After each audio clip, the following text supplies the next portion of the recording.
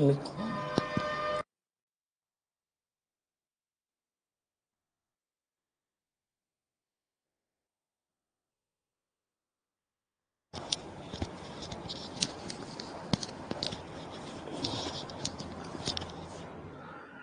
हिंद दोस्तों, एक बार audio video check कर लीजिए।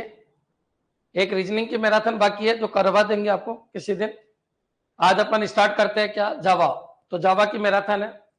जावा, मैं आपको पंद्रह घंटे की क्लास ले रहा हूँ, रोज तीन घंटे, ढाई घंटे, इस तरीके से पाँच दिन में। पाँच दिन का अपना टारगेट है, पंद्रह घंटे का अपना टारगेट है। जितने भी क्वेश्चन आए उन सबको मैं एक बार आपके दिमाग में सेट करने की कोशिश करूँगा। जितने भी क्वेश्चन बने, उनको सेट करने की कोशिश करूँगा। आप जावा, जितना भी मैंने पढ़ा, एक बार देख के आ जाइए। ओप्स के कंसेप्ट है तो वो सी प्लस के भी आ सकते हैं, जावा के भी आ सकते हैं। तो दोनों के मैंने पढ़ा रखे हैं, उनको भी देख के आ जाइए। सी प्लस प्लस के भी ओप्स पढ़ा रखे हैं और जावा के भी पढ़ा रखे हैं। लैंग्वेज आपकी जावा आएगी सी आएगी। क्लियर चलिए। लेकिन ओप्स दोनों आ सकते हैं। तो सबको शामिल करते हुए मैं पढ़ा रहा हूँ आपको। तो चलिए, सबसे पहले तो कुछ क्वेश्चन है। थोड़े टेक्निकल क्वेश्चन से अपन स्टार्ट करते हैं। क्लियर फिर अपन बीच बीच में इजी इजी क्वेश्चन भी लेते रहेंगे। आज इस क्वेश्चन को देखिए, इसका आंसर क्या आएगा। क्लियर है बच्चों? ये क्वेश्चन है। आप आंसर देते रहिए और रीजन भी बताते रहिएगा। बिना रीजन के जावा समझ में नहीं आएगी। एक चीज़ मैं आपको और क्लियर कर देता हूँ। हर चीज़ के पीछे एक रीजन होगा। उस रीजन को आपको ढूंढना होगा। रीजन समझ में आएगा तो सब कुछ होगा। रीजन देखिए, आपके जावा में ना तो ग्यारह में, ना तेरह में कुछ भी नहीं आया था। वो जो जावा आई थी, वो केवल दस मिनट की जावा है, कोई भी कर सकता है उसको। लेकिन मैं नहीं मानता कि ग्यारह और तेरह जैसे पेपर आएँगे। आजकल प्रोग्रामर के अंदर ज़्यादा ज़्यादा प्रोग्राम आने की संभावना है। प्रोग्राम के आउटपुट आने की संभावना है। तो उनको कीजिएगा, क्योंकि स्टैंडर्ड बदल चुके हैं। आज भी स्टेनोग्राफर का पेपर हुआ है। अच्छा लेवल आया था। और कोई भी एग्ज़ाम दीजिए, सबका अच्छा लेवल आ रहा है। तो कॉमन सी बात है, आपकी तैयारी वो होनी चाहिए जो मैं करवा रहा हूँ। डीबीएमएस को मैंने लॉक कर दिया है। सैड को मैंने लॉक कर दिया है। सैड और डीबीएमएस काफ़ी हद तक हो चुकी है। सैड की कुछ बेसिक की क्लास वो लेंगे। आज से मैं जावा स्टार्ट कर रहा हूँ और आने वाले पाँच दिन के अंदर इसको भी लॉक कर देंगे। क्लियर चलिए। पहला क्वेश्चन है which four option describe the correct default value for array element of the type indicates तो बच्चों एरे एलिमेंट की अगर बात करें तो एरे अगर इंटीजर है तो उसकी बाय डिफ़ॉल्ट वैल्यू क्या होगी? तो बच्चों, कोई एरे इंटीजर है, अगर मैं बात करूँ इंटीजर बच्चों, यहाँ पर लिखा मैंने ए और इस तरीके से मैंने लिखा न्यू इंटीजर इंटीजर और यहाँ पर कितना बच्चों? पाँच। तो यहाँ पर जो बाय डिफ़ॉल्ट वैल्यू बनेगी पाँच, वो क्या बनेगी? ज़ीरो। इसमें कोई दिक्कत नहीं है। स्ट्रिंग की बाय डिफ़ॉल्ट वैल्यू क्या है? तो नल नहीं है बच्चों। ये सेकंड वाला पोर्शन आपका गलत है। बच्चों, याद रखिए स्ट्रिंग की बाय डिफ़ॉल्ट वैल्यू अगर मैं यहाँ पर लिख दू स्ट्रिंग स्ट्रिंग स्ट्रिंग ए बच्चों क्लियर और यहाँ पर कर दू new new string new string new string और यहाँ पर कर दिया मैंने फाइव बच्चों क्लियर तो आप बताइए क्या बनेगा? तो कॉमन सी बात है। अगर जब मैं इसकी बात करूँगा स्ट्रिंग और न्यू स्ट्रिंग इस तरीके से अगर मैं करता हूँ तो बच्चों, एक बार बताइए, यहाँ पर क्या जाता है? नल जाता है। बच्चों क्लियर तो नल यहाँ पर सेट होगा। ये पॉइंट आपकी क्लियर कर लीजिए। तो कॉमन सी बात है, बच्चों नल स्ट्रिंग नहीं है। ये नहीं जाएगा। ये बिल्कुल सही है। डोग का डोग एक क्लास है क्या कोई ऑब्जेक्ट है बच्चों डोग क्या एक क्लास है बच्चों क्लियर तो कोई भी ऑब्जेक्ट होता है उनकी बाय डिफ़ॉल्ट वैल्यू क्या होती है? नल। इंटीजर की by default value zero. String की बाय डिफ़ॉल्ट वैल्यू क्या होती है? तो स्ट्रिंग की बाय डिफ़ॉल्ट वैल्यू क्या होती है बच्चों? ज़ीरो। Sorry null. स्ट्रिंग की बाय डिफ़ॉल्ट वैल्यू क्या होती है? नल। ये पॉइंट आपको ध्यान रखना है। क्लियर? करेक्टर जो होता है बच्चों या, याद रखिए यूनिकोड। तो याद रखिए यूनिकोड। क्या ये यूनिकोड है? बिल्कुल ये यूनिकोड है। तो बच्चों, याद रखिए, ये आपका यूनिकोड है ज़ीरो ज़ीरो ज़ीरो। ये करेक्टर की बाय डिफ़ॉल्ट वैल्यू होती है। बच्चों क्लियर फ्लोट की बाय डिफ़ॉल्ट वैल्यू क्या है? ज़ीरो पॉइंट ज़ीरो एफ़ ये बिल्कुल सही है। बुलियन की बाय डिफ़ॉल्ट वैल्यू क्या होती है? तो फॉल्स होती है। बच्चों क्लियर तो ये पॉइंट भी आपके क्लियर हो जाना चाहिए। तो कौन कौन से सही है? फ़र्स्ट सही है थर्ड सही है? बच्चों फोर्थ सही है और फिफ्थ सही है। तो फ़र्स्ट थर्ड फोर्थ फिफ्थ बच्चों क्लियर आपका आंसर क्या हो जाएगा? बी अब थोड़ा सा अपन आगे बढ़ते हैं। याद रखिए जावा के अंदर प्रिमेटिव डेटा टाइप कौन कौन से क्या ये क्लियर है आपका फ़र्स्ट क्वेश्चन कि अगर कोई एरे बनाए इंटीजर एरे और अगर उनमें वैल्यू नहीं डाले तो इंटीजर एरे में बाय डिफ़ॉल्ट वैल्यू ज़ीरो जाती है। फ्लोट एरे बनाए तो by default value zero point zero f जाती है। डबल एरे बनाए तो by default value zero point zero जाती है। अगर स्ट्रिंग बनाए तो बाय डिफ़ॉल्ट वैल्यू नल जाती है। अगर कोई क्लास के ऑब्जेक्ट बनाए और उन ऑब्जेक्ट को अपन डिक्लेयर नहीं करे तो बाय डिफ़ॉल्ट वैल्यू नल जाती है। बच्चों क्लियर तो डॉग क्लास का कोई ऑब्जेक्ट बनाए और उसके अंदर कोई वैल्यू डाले तो बाय डिफ़ॉल्ट वैल्यू क्या जाती है? नल जाती है। बच्चों बुलियन की बाय डिफ़ॉल्ट वैल्यू फॉल्स जाती है। क्लियर तो ये सारी चीज़ें आपके क्लियर हो गई होगी। एक बार कमेंट कर दीजिए। क्लियर अब जावा के अंदर बच्चों प्रिमिटिव डेटा टाइप कौन कौन से होते हैं? तो ये वर्ड मैं आपको समझा देता हूँ। तो जावा के अंदर अगर प्रिमिटिव डेटा टाइप की बात करें primitive data type primitive data type primitive data type वो होते हैं, जो जावा के अंदर पहले से डिफाइन किया गया है। बच्चों क्लियर तो जावा के अंदर प्रिमिटिव डेटा टाइप के अंदर सबसे पहला होता है आपका बुलियन बच्चों क्लियर बुलियन अब चलिए बुलियन के अलावा बच्चों कौन कौन सा? जैसे बाइट अब बाइट का जो कन्वर्जन है बाइट छोटा होता है, कितने बाइट का होता है? एक बाइट बच्चों क्लियर बाइट किसमें कन्वर्ट हो सकता है? तो बाइट कन्वर्ट हो सकता है शॉर्ट में। शॉर्ट कितने बाइट का होता है? दो बाइट बच्चों क्लियर अब शॉर्ट किसमें कन्वर्ट हो सकता है? तो शॉर्ट इंटीजर में कन्वर्ट हो सकता है। इसको टाइप कास्ट कहते हैं। और ये जो है, ये याद रखिए इम्प्लिसिट टाइप कास्ट है। बच्चों क्लियर आपको लिखने की ज़रूरत नहीं ऑटोमेटिक कन्वर्ट हो जाएँगे। जब ज़रूरत पड़ेगी शॉर्ट को इंटीजर में जाना होगा ऑटोमेटिक कन्वर्ट हो जाएगा। इंटीजर कितने बाइट का है? तो चार बाइट बच्चों क्लियर इसके अलावा लॉन्ग लॉन्ग भी एक इंटीजर वैल्यू है। ये कितने बाइट का है? तो बच्चों, ये आठ बाइट का है। बच्चों क्लियर अच्छा लॉन्ग जो डेटा टाइप है, उसका टाइप कास्ट किसमें हो जाता है? फ्लोट और फ्लोट कितने बाइट का है? तो फ्लोट चार बाइट का है। बच्चों क्लियर अब ये मत कह देना, सर, ये आठ बाइट चार बाइट में कैसे कन्वर्ट हो जाता है? याद रखिए, ये एक्सपोनेंशियल और मेंटिसा पार्ट के अंदर जाते हैं, इसलिए कन्वर्ट हो जाते हैं। अब फ्लोट किसमें कन्वर्ट हो जाता है? डबल बच्चों क्लियर तो डबल कितने बाइट का है? आठ बाइट का है। बच्चों क्लियर तो याद रखिए, एक, दो, तीन, चार, पाँच, छह, इनके कन्वर्जन आते हैं बच्चों क्लियर एक और पॉइंट आपको याद रखना करेक्टर जो है, वो दो बाइट का होता है बच्चों क्लियर करेक्टर कितने बाइट का होता है? दो बाइट का होता है बच्चों क्लियर अब करेक्टर की तो रेंज है, वो ज़ीरो से लगा के कितनी होती है? पैंसठ हज़ार पाँच सौ। पैंसठ हज़ार पाँच सौ पैंतीस होती है बच्चों क्लियर ये पॉइंट आपको ध्यान रखना है। याद रखिए जावा के अंदर साइन, अनसाइन नाम की कोई चीज़ नहीं होती है। ये जितने भी है नेगेटिव से पॉजिटिव तक जाएँगे। ये ज़ीरो, ये कितना माइनस एक और ये कितना होता है प्लस का एक सौ सत्ताईस। बच्चों क्लियर शॉर्ट की रेंज क्या होती है? तो ये ज़ीरो। और बच्चों, बत्तीस सात सौ अड़सठ, बत्तीस सात सौ अड़सठ माइनस से बच्चों, बत्तीस सात सौ सड़सठ होती है। बच्चों क्लियर याद रखिए शॉर्ट जितनी साइज़ का होता है, वही उतना ही बाइट होता है। लेकिन बाइट बच्चों, एक तरीके से अनसाइन की तरह वर्क करता है और शॉर्ट साइन और अनसाइन की तरह वर्क करता है। इंटीजर बच्चों, चार बाइट लॉन्ग आठ बाइट बच्चों क्लियर किस तरीके से कन्वर्जन होता है? करेक्टर किसमें कन्वर्ट हो जाता है इंटीजर क्यों क्योंकि इंटीजर में ये रेंज ऑटोमेटिक आ जाती है। बच्चों क्लियर तो ये करेक्टर को शॉर्ट में कन्वर्ट नहीं कर सकते, लेकिन करेक्टर को अपन इंटीजर में, बच्चों, इसको बोलते हैं इम्प्लिसिट कन्वर्जन बच्चों क्लियर तो कोई ये पूछे इम्प्लिसिट कन्वर्जन क्या होता है? तो जो ऑटोमेटिक कन्वर्जन होता है ऑटोमेटिक कन्वर्जन होता है, जिसको लिखने की ज़रूरत नहीं है तो कंपाइलर ऑटोमेटिक कन्वर्ट कर लेता है। बच्चों क्लियर उसको क्या कहते हैं? इम्प्लिसिट कन्वर्जन बच्चों क्लियर अगर मान लीजिए बाइट को मैं इंटीजर में डालना चाहूँ, मान लो एक डेटा आपका बाइट है। बच्चों clear byte x byte x five है। बच्चों क्लियर अगर मैं इसको इंटीजर में डालना चाहूँ तो बच्चों, ये डायरेक्टली डल जाएगा और ये इंटीजर में कन्वर्ट होकर डलेगा।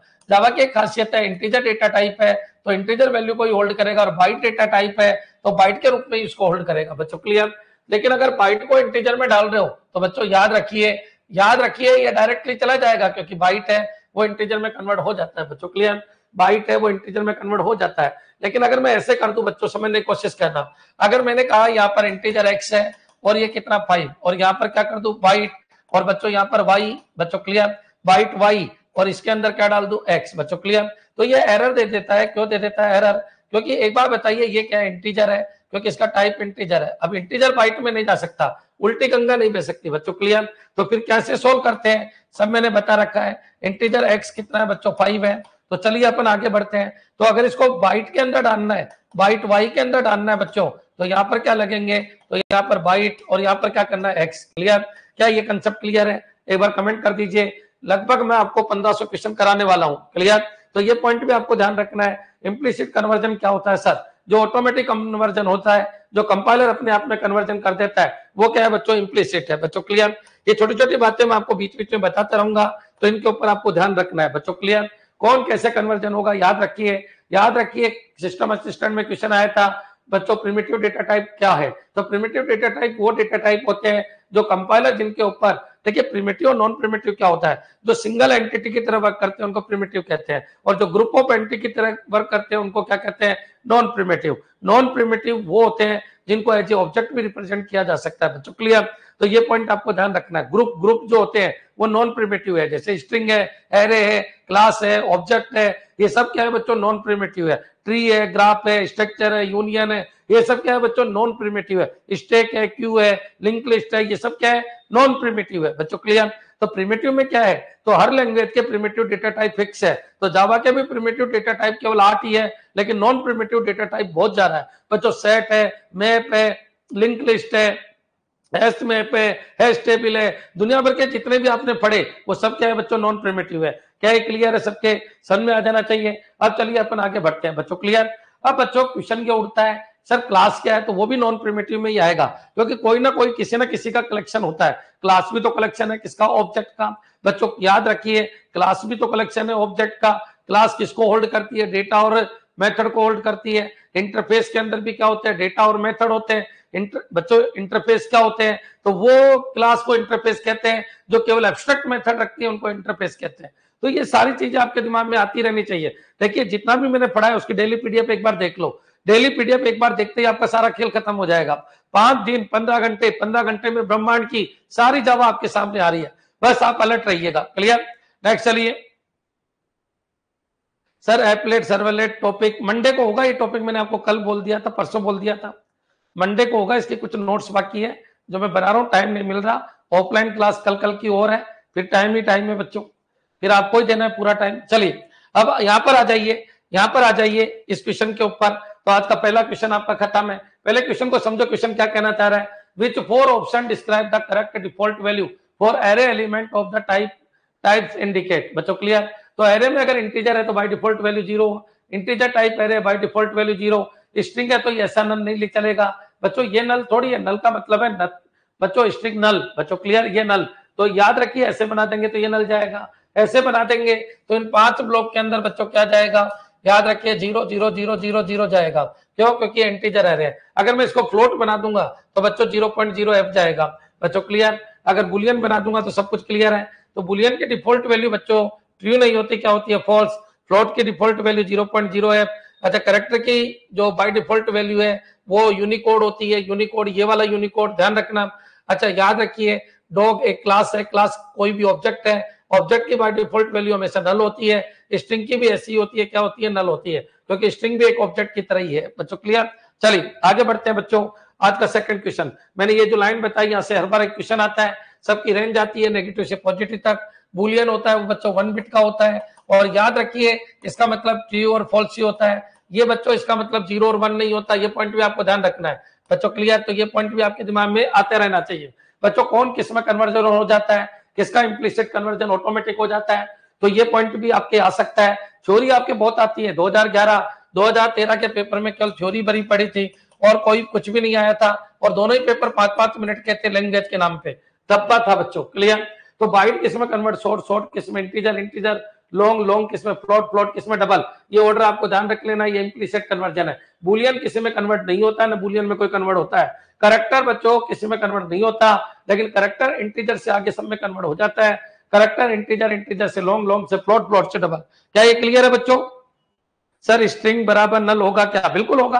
करुणा, बिल्कुल सही है कि मान लीजिए स्ट्रिंग लिख दिया मैंने स्ट्रिंग स्ट्रिंग का नाम क्या है? ए और इसके अंदर क्या डाल दिया मैंने नल बच्चों क्लियर तो बिल्कुल हो सकता है। ये समझ में आ गया होगा बच्चों स्ट्रिंग ए नल बच्चों क्लियर बिल्कुल चलेगा, कोई दिक्कत ही नहीं है। आ गया सबके समझ में नेक्स्ट आगे बढ़ते हैं। हाँ जी। नेक्स्ट चलिए सेकंड क्वेश्चन सोच समझ के आंसर दीजिएगा, सोच समझ के आंसर दीजिएगा। हाँ जी, सोच समझ के आंसर दीजिएगा। क्या आंसर आ रहा है? स्पीड रखो स्पीड रखो स्पीड रखो, फटाफट स्पीड रखिए।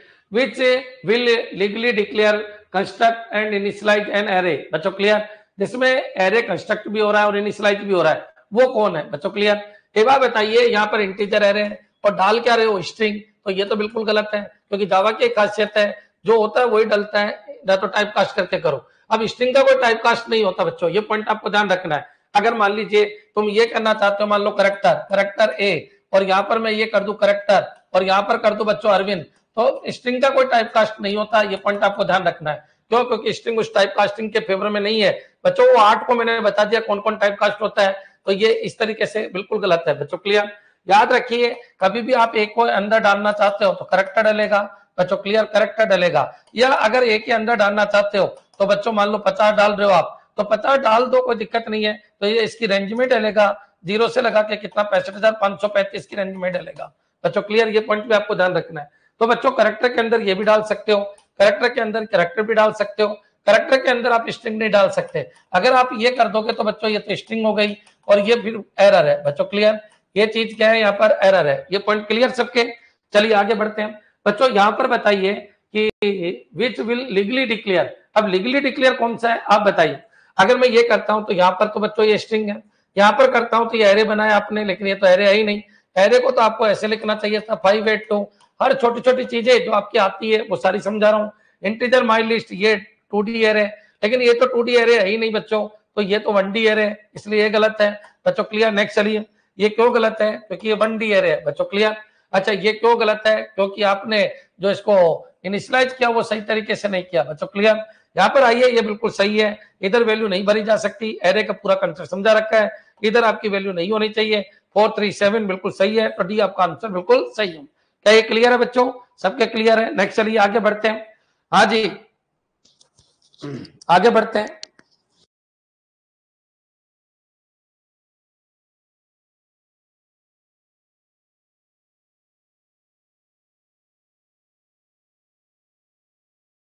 नेक्स्ट नेक्स्ट चलिए, अगला क्वेश्चन है। बच्चों which is a reserved word in the Java programming language तो जावा प्रोग्रामिंग लैंग्वेज में रिज़र्व वर्ड क्या है? तो देखिए, आपके रिज़र्व वर्ड में से एक दो क्वेश्चन ज़रूर आते हैं कि जावा की प्रोग्रामिंग में रिज़र्व वर्ड कौन सा है? आप पहले तो आप आंसर दीजिए। पहले तो आप आंसर दीजिए, इनमें से रिज़र्व वर्ड कौन सा है? जावा प्रोग्रामिंग में। क्या एरे कोई कीवर्ड है? नहीं है। रिज़र्व वर्ड को क्या कहते हैं? कीवर्ड कहते हैं। क्या रेफरेंस कोई है? कभी यूज़ किया आपने रेफरेंस नहीं किया। क्या सब क्लासेस कभी यूज़ किया? नहीं। क्या मेथड कभी यूज़ किया आपने? नहीं। क्या यूज़ किया आपने? नेटिव नेटिव मेथड्स वो होते हैं जो दूसरी प्रोग्रामिंग लैंग्वेज में लिखे होते हैं। बच्चों क्लियर याद रखना, ये क्वेश्चन कई बार आ चुका है। बच्चे बहुत सारी गड़बड़ कर देते हैं। तो मैं एक बार आपको ये बता ही देता हूँ कि आपके कीवर्ड कौन कौन से है? बच्चों, क्लियर? देखो बच्चों, इस लिस्ट को तैयार कीजिए। जावा के अंदर कीवर्ड कौन कौन से है? बच्चों, क्लियर? तो यहाँ पर आइए, क्वेश्चन है कि एब्स्ट्रैक्ट एब्स्ट्रैक्ट और एसर्ट बच्चों, क्लियर? बुलियन ब्रेक और बाइट बच्चों, क्लियर? केस केच देखिए, ऐसे ले लो आप कि डेटा टाइप वाले निकाल लो सबसे पहले डेटा टाइप वाले। तो डेटा टाइप वाले कौन कौन से हैं?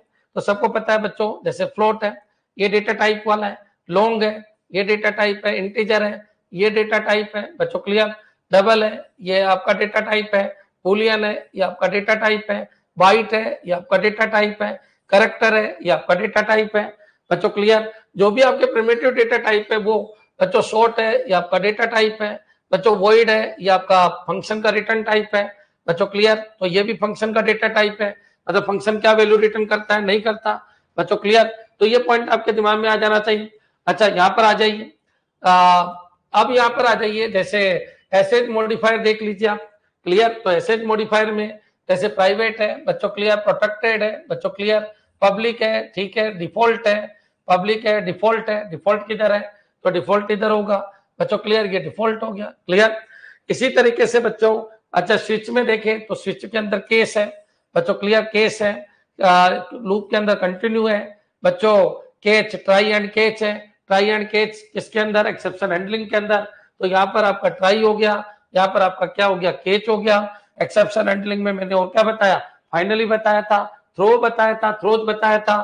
थ्रो बताया था। थ्रोज बताया था। एक बताया था मैंने क्या? फाइनली बच्चों क्लियर तो ये फाइनली यहाँ हो गया। अब आ जाइए कीवर्ड के ऊपर, जो स्पेसिफिक कीवर्ड है। फाइनल फाइनल खूब समझा रखा है। एक स्टेटिक होता है। फाइनल स्टेटिक बच्चों क्लियर तो ये पॉइंट आपको ध्यान रखना है। फाइनल है स्टेटिक है और दिस है। बच्चों क्लियर इनके ऊपर पूरी एक एक क्लास मैंने आपको पढ़ा रखी है। अब आ जाइए लूप के ऊपर तो वाइल हो गया। बच्चों क्लियर डू वाइल हो गया। स्विच स्विच में स्विच इधर आई गया था।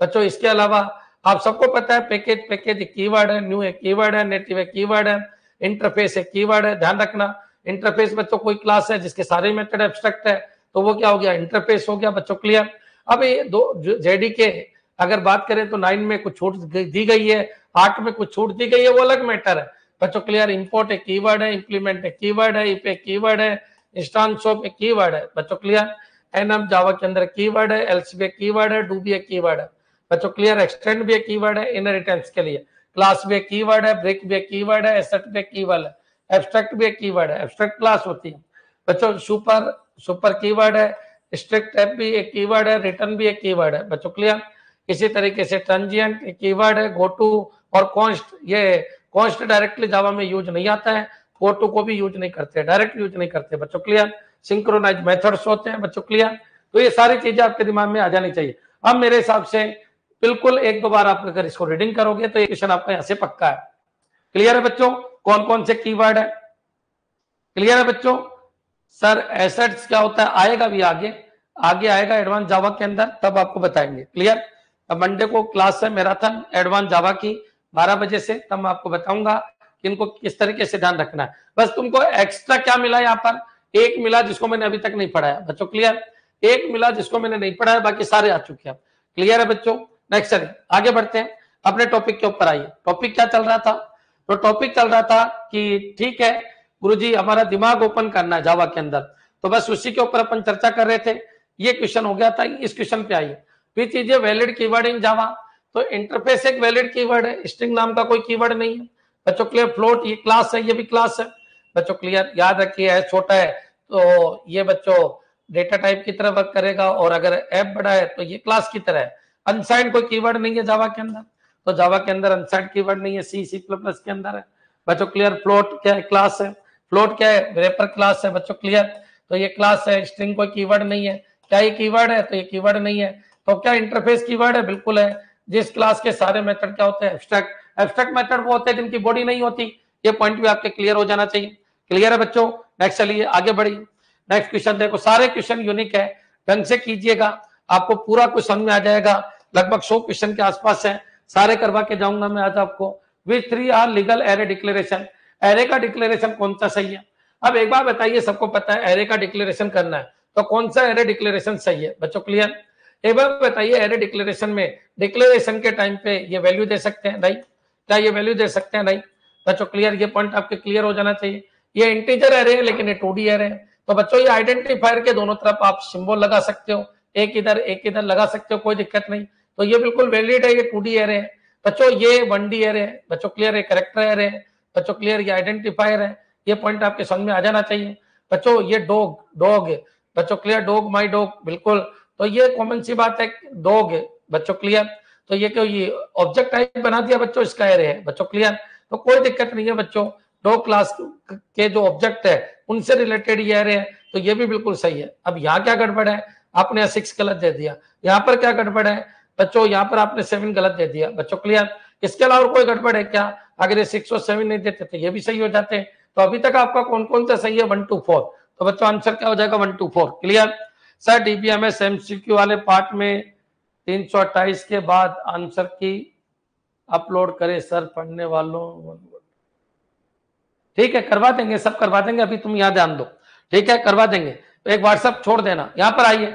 पब्लिक इंटरफेस फू बच्चों क्लियर अब पब्लिक इंटरफेस है बच्चों। अब एक बार बताइए, वो कह रहा है which three piece of code are equal to line three एक बार बताओ, ये क्वेश्चन क्लियर है क्या?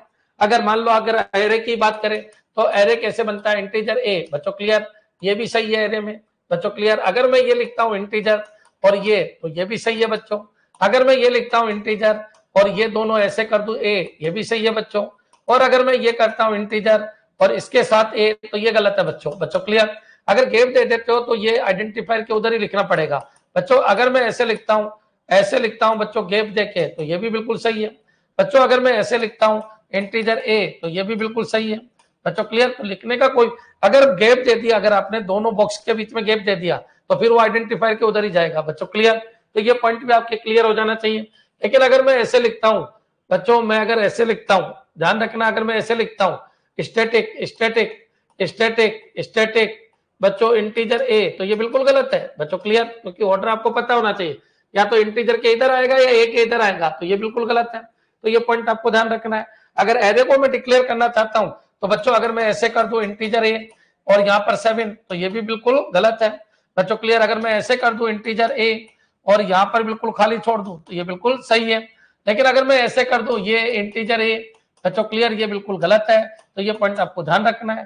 तो बच्चों, याद रखिए इंटीजर फ्लोट करेक्टर यहाँ से स्टार्ट होगा।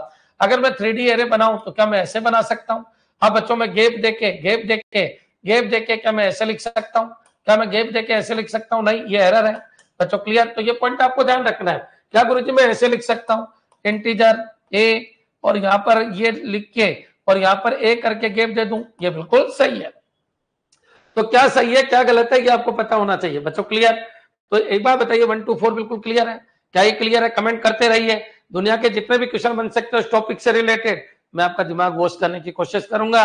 इन पंद्रह घंटे की जावा के अंदर कि ब्रह्मांड का कोई क्वेश्चन छूटे नहीं। इस सृष्टि का कोई क्वेश्चन ऐसा नहीं हो कि जावा में आप नहीं कर पाओ क्लियर है बच्चों? तो एक बार बताइए, क्या क्लियर है सबके? क्या ध्यान रखना है? नेक्स्ट करिए एक एक क्वेश्चन का पोस्टमार्टम करेंगे, यहाँ पर आइए।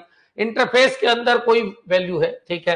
तो वो ये कह रहा है विच थ्री पीस और code are equal to line three वो ये कह रहा है लाइन थ्री के जगह क्या क्या लिख सकते हैं? आप बताओ। इंटरफेस को दिमाग में लाइए। इंटरफेस क्या होता है? तो मैंने आपको बताया था। इंटरफेस बच्चों कीवर्ड लगाना पड़ेगा। किसी क्लास के आगे अगर इंटरफेस कीवर्ड लगा दे तो इंटरफेस बन जाता है। अब बच्चों इंटरफेस बना दिया, मैंने नाम है क्या? एबीसी बच्चों क्लियर इंटरफेस का नाम क्या है? तो इंटरफेस का नाम मैंने लिख दिया एबीसी बच्चों क्लियर तो चलिए इंटरफेस अगर एबीसी है तो बच्चों, याद रखना इसके अंदर क्या होंगे? इसके अंदर डेटा होंगे। डेटा होगा डेटा होगा, और क्या होगा? मेथड होगा। बच्चों क्लियर अगर मैं डेटा की बात करूँ तो डेटा हमेशा कैसा होता है? तो याद रखिए इंटरफेस का डेटा हमेशा पब्लिक होगा। बच्चों पब्लिक होगा स्टेटिक होगा फाइनल होगा। ये बाय डिफ़ॉल्ट चलता है स्टेटिक और फाइनल होगा। बच्चों क्लियर ये हमेशा यही होता है। पब्लिक स्टेटिक फाइनल लिखने की ज़रूरत है, बिल्कुल नहीं लिखने की ज़रूरत। इंटरफेस के अंदर का डेटा पब्लिक स्टेटिक फाइनल होता है। ये पॉइंट आपको ध्यान रखना है बच्चों क्लियर पब्लिक क्यों बनाया जाता है? ताकि ये चाइल्ड क्यों? क्योंकि इंटरफेस को इम्प्लीमेंट करवाया जाता है। अब बच्चों, जो इसके अंदर है, उनको यूज़ कहाँ करते हैं? तो चाइल्ड के अंदर करते हैं। क्यों करते हैं? क्योंकि यहाँ तो इसको यूज़ कर ही नहीं सकते। तो इनको चाइल्ड में ला, लाया जाता है चाइल्ड में लाया जाएगा। तो इनको यूज़ करना है तो पब्लिक लिखना ही पड़ेगा बच्चों क्लियर स्टेटिक क्यों लिखा जाता है? क्योंकि ये क्लास से रिलेटेड होते हैं बच्चों क्लियर किससे रिलेटेड क्लास से रिलेटेड होते हैं हर ऑब्जेक्ट से रिलेटेड नहीं होते। फाइनल इसलिए लिखा जाता है क्योंकि ये क्लास से रिलेटेड है तो हर ऑब्जेक्ट इनमें चेंज नहीं कर सके बच्चों क्लियर तो याद रखिए अगर मैं इनको यहाँ यूज़ करूँ इस डेटा को यहाँ यूज़ करूँ तो इस क्लास का तो प्रत्येक ऑब्जेक्ट इस क्लास का तो प्रत्येक ऑब्जेक्ट इस क्लास का तो प्रत्येक ऑब्जेक्ट इसमें चेंज करने की कोशिश करेगा। नहीं होनी चाहिए। इसलिए क्या बना दिया? फाइनल कि इनको चेंज नहीं कर सकते। स्टेटिक इसलिए, क्योंकि हर ऑब्जेक्ट के लिए, बच्चों अगर इंस्टांस बना दोगे तो हर ऑब्जेक्ट के लिए अलग अलग इमेज बनेगी, वो नहीं होनी चाहिए। क्यों? क्योंकि बच्चों डेटा तो वही है इंटरफेस का ही है। डेटा तो इंटरफेस का ही है। बच्चों क्लियर ये इस क्लास से रिलेटेड है। इंटरफेस का डेटा अपनी क्लास से रिलेटेड होता है। इसलिए पब्लिक स्टेटिक फाइनल होता है। तो फिर गुरु जी मेथड के बारे में भी बता दूँ। तो जो मेथड होते हैं बच्चों पब्लिक होते हैं। क्या होते हैं पब्लिक बच्चों क्लियर मेथड पब्लिक होते हैं। क्या मेथड फाइनल कर सकता हूँ? मेथड कभी फाइनल नहीं हो सकते, क्योंकि फाइनल मेथड को ओवरराइड नहीं कर सकते अपन। इंटरफेस को हमेशा ओवरराइड कराएँगे, तभी तो फ़ायदा है। नहीं ओवरराइड कराओगे तो फ़ायदा क्या है? तो बच्चों मेथड कभी फाइनल नहीं हो सकते। मेथड कभी स्टेटिक नहीं हो सकते।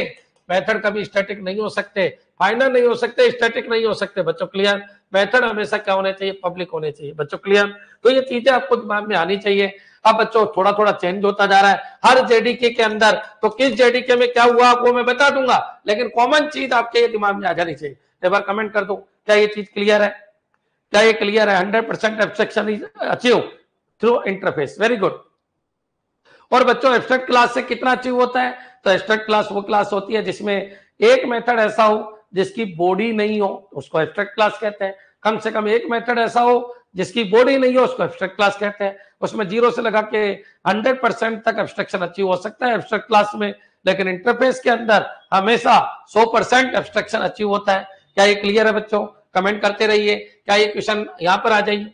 अब बच्चों, अगर मैं ये कर रहा हूँ तो आप बताइए, इसके बाय डिफ़ॉल्ट इसके आगे क्या लिखा है? ये लिख दे तो भी कोई दिक्कत नहीं। पब्लिक इंटीजर के तो भी कोई दिक्कत नहीं। स्टैटिक ये लिख दे तो भी कोई दिक्कत नहीं। क्योंकि नहीं लिखोगे तो भी ये ऑटोमेटिक क्या लेता है? पब्लिक स्टैटिक फाइनल बच्चों क्लियर तो याद रखिए, ये डेटा है। डेटा है तो पब्लिक स्टैटिक फाइनल एक बार बताइए, क्या इसके अंदर का डेटा एब्स्ट्रक्ट हो सकता है? डेटा एब्स्ट्रक्ट हो सकता है वोलेटाइल हो सकता है प्रोटेक्टेड हो सकता है। बच्चों, ये चीज़ें है ही नहीं, बच्चों क्लियर ये आपको ध्यान रखना है। कभी भी ये बात करें तो आपका आंसर क्या आएगा? अच्छा ये और ऑप्शन है ना वन टू थ्री अच्छा इन छह में से आपको आंसर देना है तो आंसर क्या हो जाएगा? वन टू थ्री बच्चों क्लियर पब्लिक स्टेटिक फाइनल क्या ये क्लियर है बच्चों? ये पॉइंट क्लियर है। अब बच्चों, देखिए डेटा एब्स्ट्रक्ट नहीं होता। मेथड एब्स्ट्रक्ट होता है। डेटा कोई एब्स्ट्रक्ट नहीं होता। बच्चों क्लियर डेटा एब्स्ट्रक्ट नहीं होता। ये पॉइंट आपको ध्यान रखना है।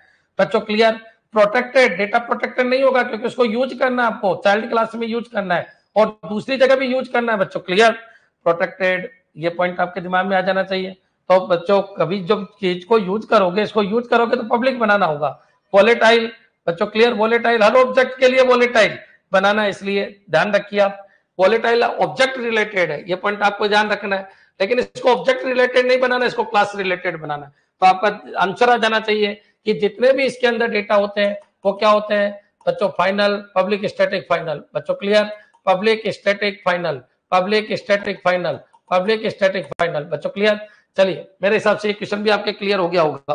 अब धीरे धीरे धीरे धीरे आपके कंसेप्ट क्लियर होते चले जाएँगे। एक एक क्वेश्चन में मैं पाँच पाँच, दस दस क्वेश्चन डाल रहा हूँ। समझने की कोशिश कीजिएगा। नेक्स्ट आगे बढ़ते हैं बच्चों इस क्वेश्चन को देखिए। पढ़िए which one of the following will declare an array and initialize it with five numbers initialize it with five numbers बच्चों क्लियर तो which one of the following will declare an array paper easy आएँगे तो ऐसे ही question आने वाले हैं। और paper अगर थोड़े टफ आएँगे तो बच्चों फिर आपको प्रोग्राम भी दे सकते हैं। क्लियर तो मैंने देखा ग्यारह, तेरह में इसी तरीके के क्वेश्चन ज़्यादा थे। तो वो पहले मैं ले रहा हूँ, जो थियोटिकल क्वेश्चन है क्योंकि प्रोग्राम तो आप फोड़ देते हो, मेरे, मैंने नोटिस किया है। प्रोग्राम में तो आप ज़बरदस्त हो। Next with one of the following will declare an array and initialize it with five numbers ठीक है? अब बताओ यहाँ पर क्या है? अरे भाई, ये तो एरे को क्या कर दिया? एरे को क्या कर दिया? एरे को क्या कर दिया तुम लोगों ने? बच्चों क्लियर एरे के सिंबल विम्बल गायब है। यहाँ पर आइए, ये एरे है। बच्चों क्लियर इंटीजर ये, बिल्कुल ये पाँच नंबर बच्चों क्लियर असाइन हो रहे हैं। बच्चों, यहाँ पर बाय डिफ़ॉल्ट असाइनमेंट हो रहा है। लेकिन वो ये कह रहा है which one of the following will declare an array and initialize it with five numbers बच्चों क्लियर तो यहाँ इनिशियलाइज हुआ है, यहाँ इनिशियलाइज हो तो रहा है, लेकिन ये तो बाय डिफ़ॉल्ट वैल्यू से वो तो खुद कह रहे हैं कि पाँच नंबर से असाइन हुआ है। क्लियर ये चीज़ सही है। और ये चीज़ क्या है? ये तो कंसेप्ट ही गलत है। ये कंसेप्ट तो सही है, लेकिन बच्चों, इसमें केवल बन रहा है। बच्चों क्लियर इसमें बन रहा है और बाय डिफ़ॉल्ट वैल्यू ले रहा है। तो इसको अपन एक तरीके से प्रायोरिटी कम देंगे आंसर क्या होगा? बी होगा, बच्चों क्लियर क्योंकि बी में सारे काम हो गए, देखिए।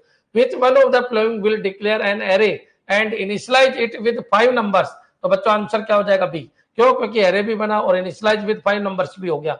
यहाँ पर एरे तो बना, पाँच लोकेशन लेकिन ये जेवीएम की वजह से हो रहा है। जेवीएम क्या कर रहा है? क्योंकि बाय डिफ़ॉल्ट वैल्यू जब तक उसमें नहीं डाली जाती है, क्या डाल देता है? ज़ीरो बच्चों क्लियर तो आपका बेस्ट आंसर क्या होगा? बी आंसर बेस्ट होगा। बच्चों क्लियर तो याद रखिए, कई बार आपके पास उलझन आ जाएगी। उलझन आपको ही सुलझाना होगा, और तो कोई सुलझाएगा नहीं। तो आपको ध्यान रखना है, अरे यार, बोल क्या रहा है क्वेश्चन अरे अरे बनाओ, और उसके अंदर वैल्यू असाइन करो, कितनी पाँच।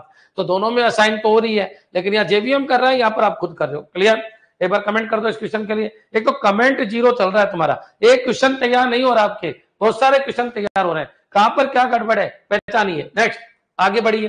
यहाँ पर आइए। Which three are valid declaration of character इनमें से वैलिड डिक्लेरेशन ऑफ़ करेक्टर बताइए। बच्चों क्लियर करेक्टर का वैलिड डिक्लेरेशन क्या होगा? डिक्लेरेशन क्या होगा? चेक कर लेते हैं। बच्चों, एक बार बताइए, ये तो करेक्टर नहीं है, ये तो बिल्कुल ही गलत है। करेक्टर तो बच्चों, एक अक्षर का होता है ऐसे। ऐसे, ऐसा होता है करेक्टर नो होता है करेक्टर तो ये क्या है बच्चों, ये करेक्टर लिटरल नहीं है। ये लिटरल है, लेकिन ये करेक्टर लिटरल नहीं है। बच्चों क्लियर तो ये पॉइंट याद रखिए। तो वो पूछ रहा है which three are the valid declaration of a character तो ये तो बिल्कुल नहीं है। ये भी नहीं है बच्चों, ये यूनिकोड में लिख रहा है, लेकिन यूनिकोड पे तो ऐसा होता है। यूनिकोड पे तो ऐसा होता है बच्चों। यूनिकोड पे तो ऐसा लिखा होता है। और यूनिकोड बिल्कुल तो ये भी गलत है। क्यों? क्योंकि ये यूनिकोड का सही फॉर्मेट नहीं है। यूनिकोड का सही फॉर्मेट क्या है? तो याद रखिए या कोलन होता है। बच्चों क्लियर यहाँ पर आइए, ये भी नहीं है। क्योंकि यूनिकोड में तो यहाँ यू होता है। बच्चों क्लियर यूनिकोड में तो यहाँ पर यू होता है। तो ये पॉइंट भी आपके क्लियर हो जाना चाहिए। तो बच्चों, ये भी यूनिकोड का सही फॉर्मेट नहीं है। करेक्ट ऑर्डर नहीं है यूनिफॉर यूनिकोड का। बच्चों, ये बिल्कुल सही है। और याद रखना, यहाँ अंदर की जो वैल्यू है, वो बच्चों ज़ीरो टू एफ़ तक हो सकती है। बच्चों क्लियर तो ये बिल्कुल सही है। तो छह तो बिल्कुल सही है। पाँच गलत है, चार गलत है। बच्चों क्लियर अब यहाँ जाइए एक्सा वैल्यू है। ठीक है? अब बच्चों करेक्टर की रेंज क्या है? तो पहले करेक्टर की रेंज देख लेते हैं। करेक्टर की रेंज है बच्चों ज़ीरो से लगा के पैंसठ हज़ार पाँच सौ पैंतीस तक है। बच्चों क्लियर अगर इस रेंज का होगा तो इसमें जाएगा, ना तो ये इंटीजर ही बना रह जाएगा। और बच्चों एरर आ जाएगी। बच्चों क्लियर अब एक बार बताइए B W E F B W E F सबको पता है बच्चों बी डब्ल्यू ई एफ़ ये क्या है? हेक्सा है हेक्सा है। तो बच्चों, इन सबके इंटीजर वैल्यू अपन को पता है। अब बच्चों, इस रेंज में आए तो ठीक है, जाएगी, ना तो नहीं जाएगी। अब एक बार बताइए, इसको किससे गुणा करते हैं? वन इसको किससे? सिक्सटीन की पावर इसको सिक्सटीन की पावर ज़ीरो से, इसको सिक्सटीन की पावर वन इसको सिक्सटीन की पावर टू से, इसको सिक्सटीन की पावर थ्री से। बच्चों क्लियर ये पॉइंट आपके क्लियर हो जाना चाहिए। तो सिक्सटीन की पावर थ्री कितना होता है? वो निकाल लीजिए, सोलह सोलह, दो सौ छप्पन, सोलह। तो कॉमन सी बात है बच्चों, ये इस रेंज के अंदर अंदर ही रहेगा। बच्चों क्लियर तो जब ये इस रेंज के अंदर अंदर रहेगा तो बच्चों, इसमें चला जाएगा। इसका मतलब ये पहुँच जाएगा। बच्चों, एक बार बताइए, ये तो बिल्कुल गलत है, क्योंकि ये तो लिटरली गलत लिख दिया, ये करेक्टर लिटरल है ही नहीं।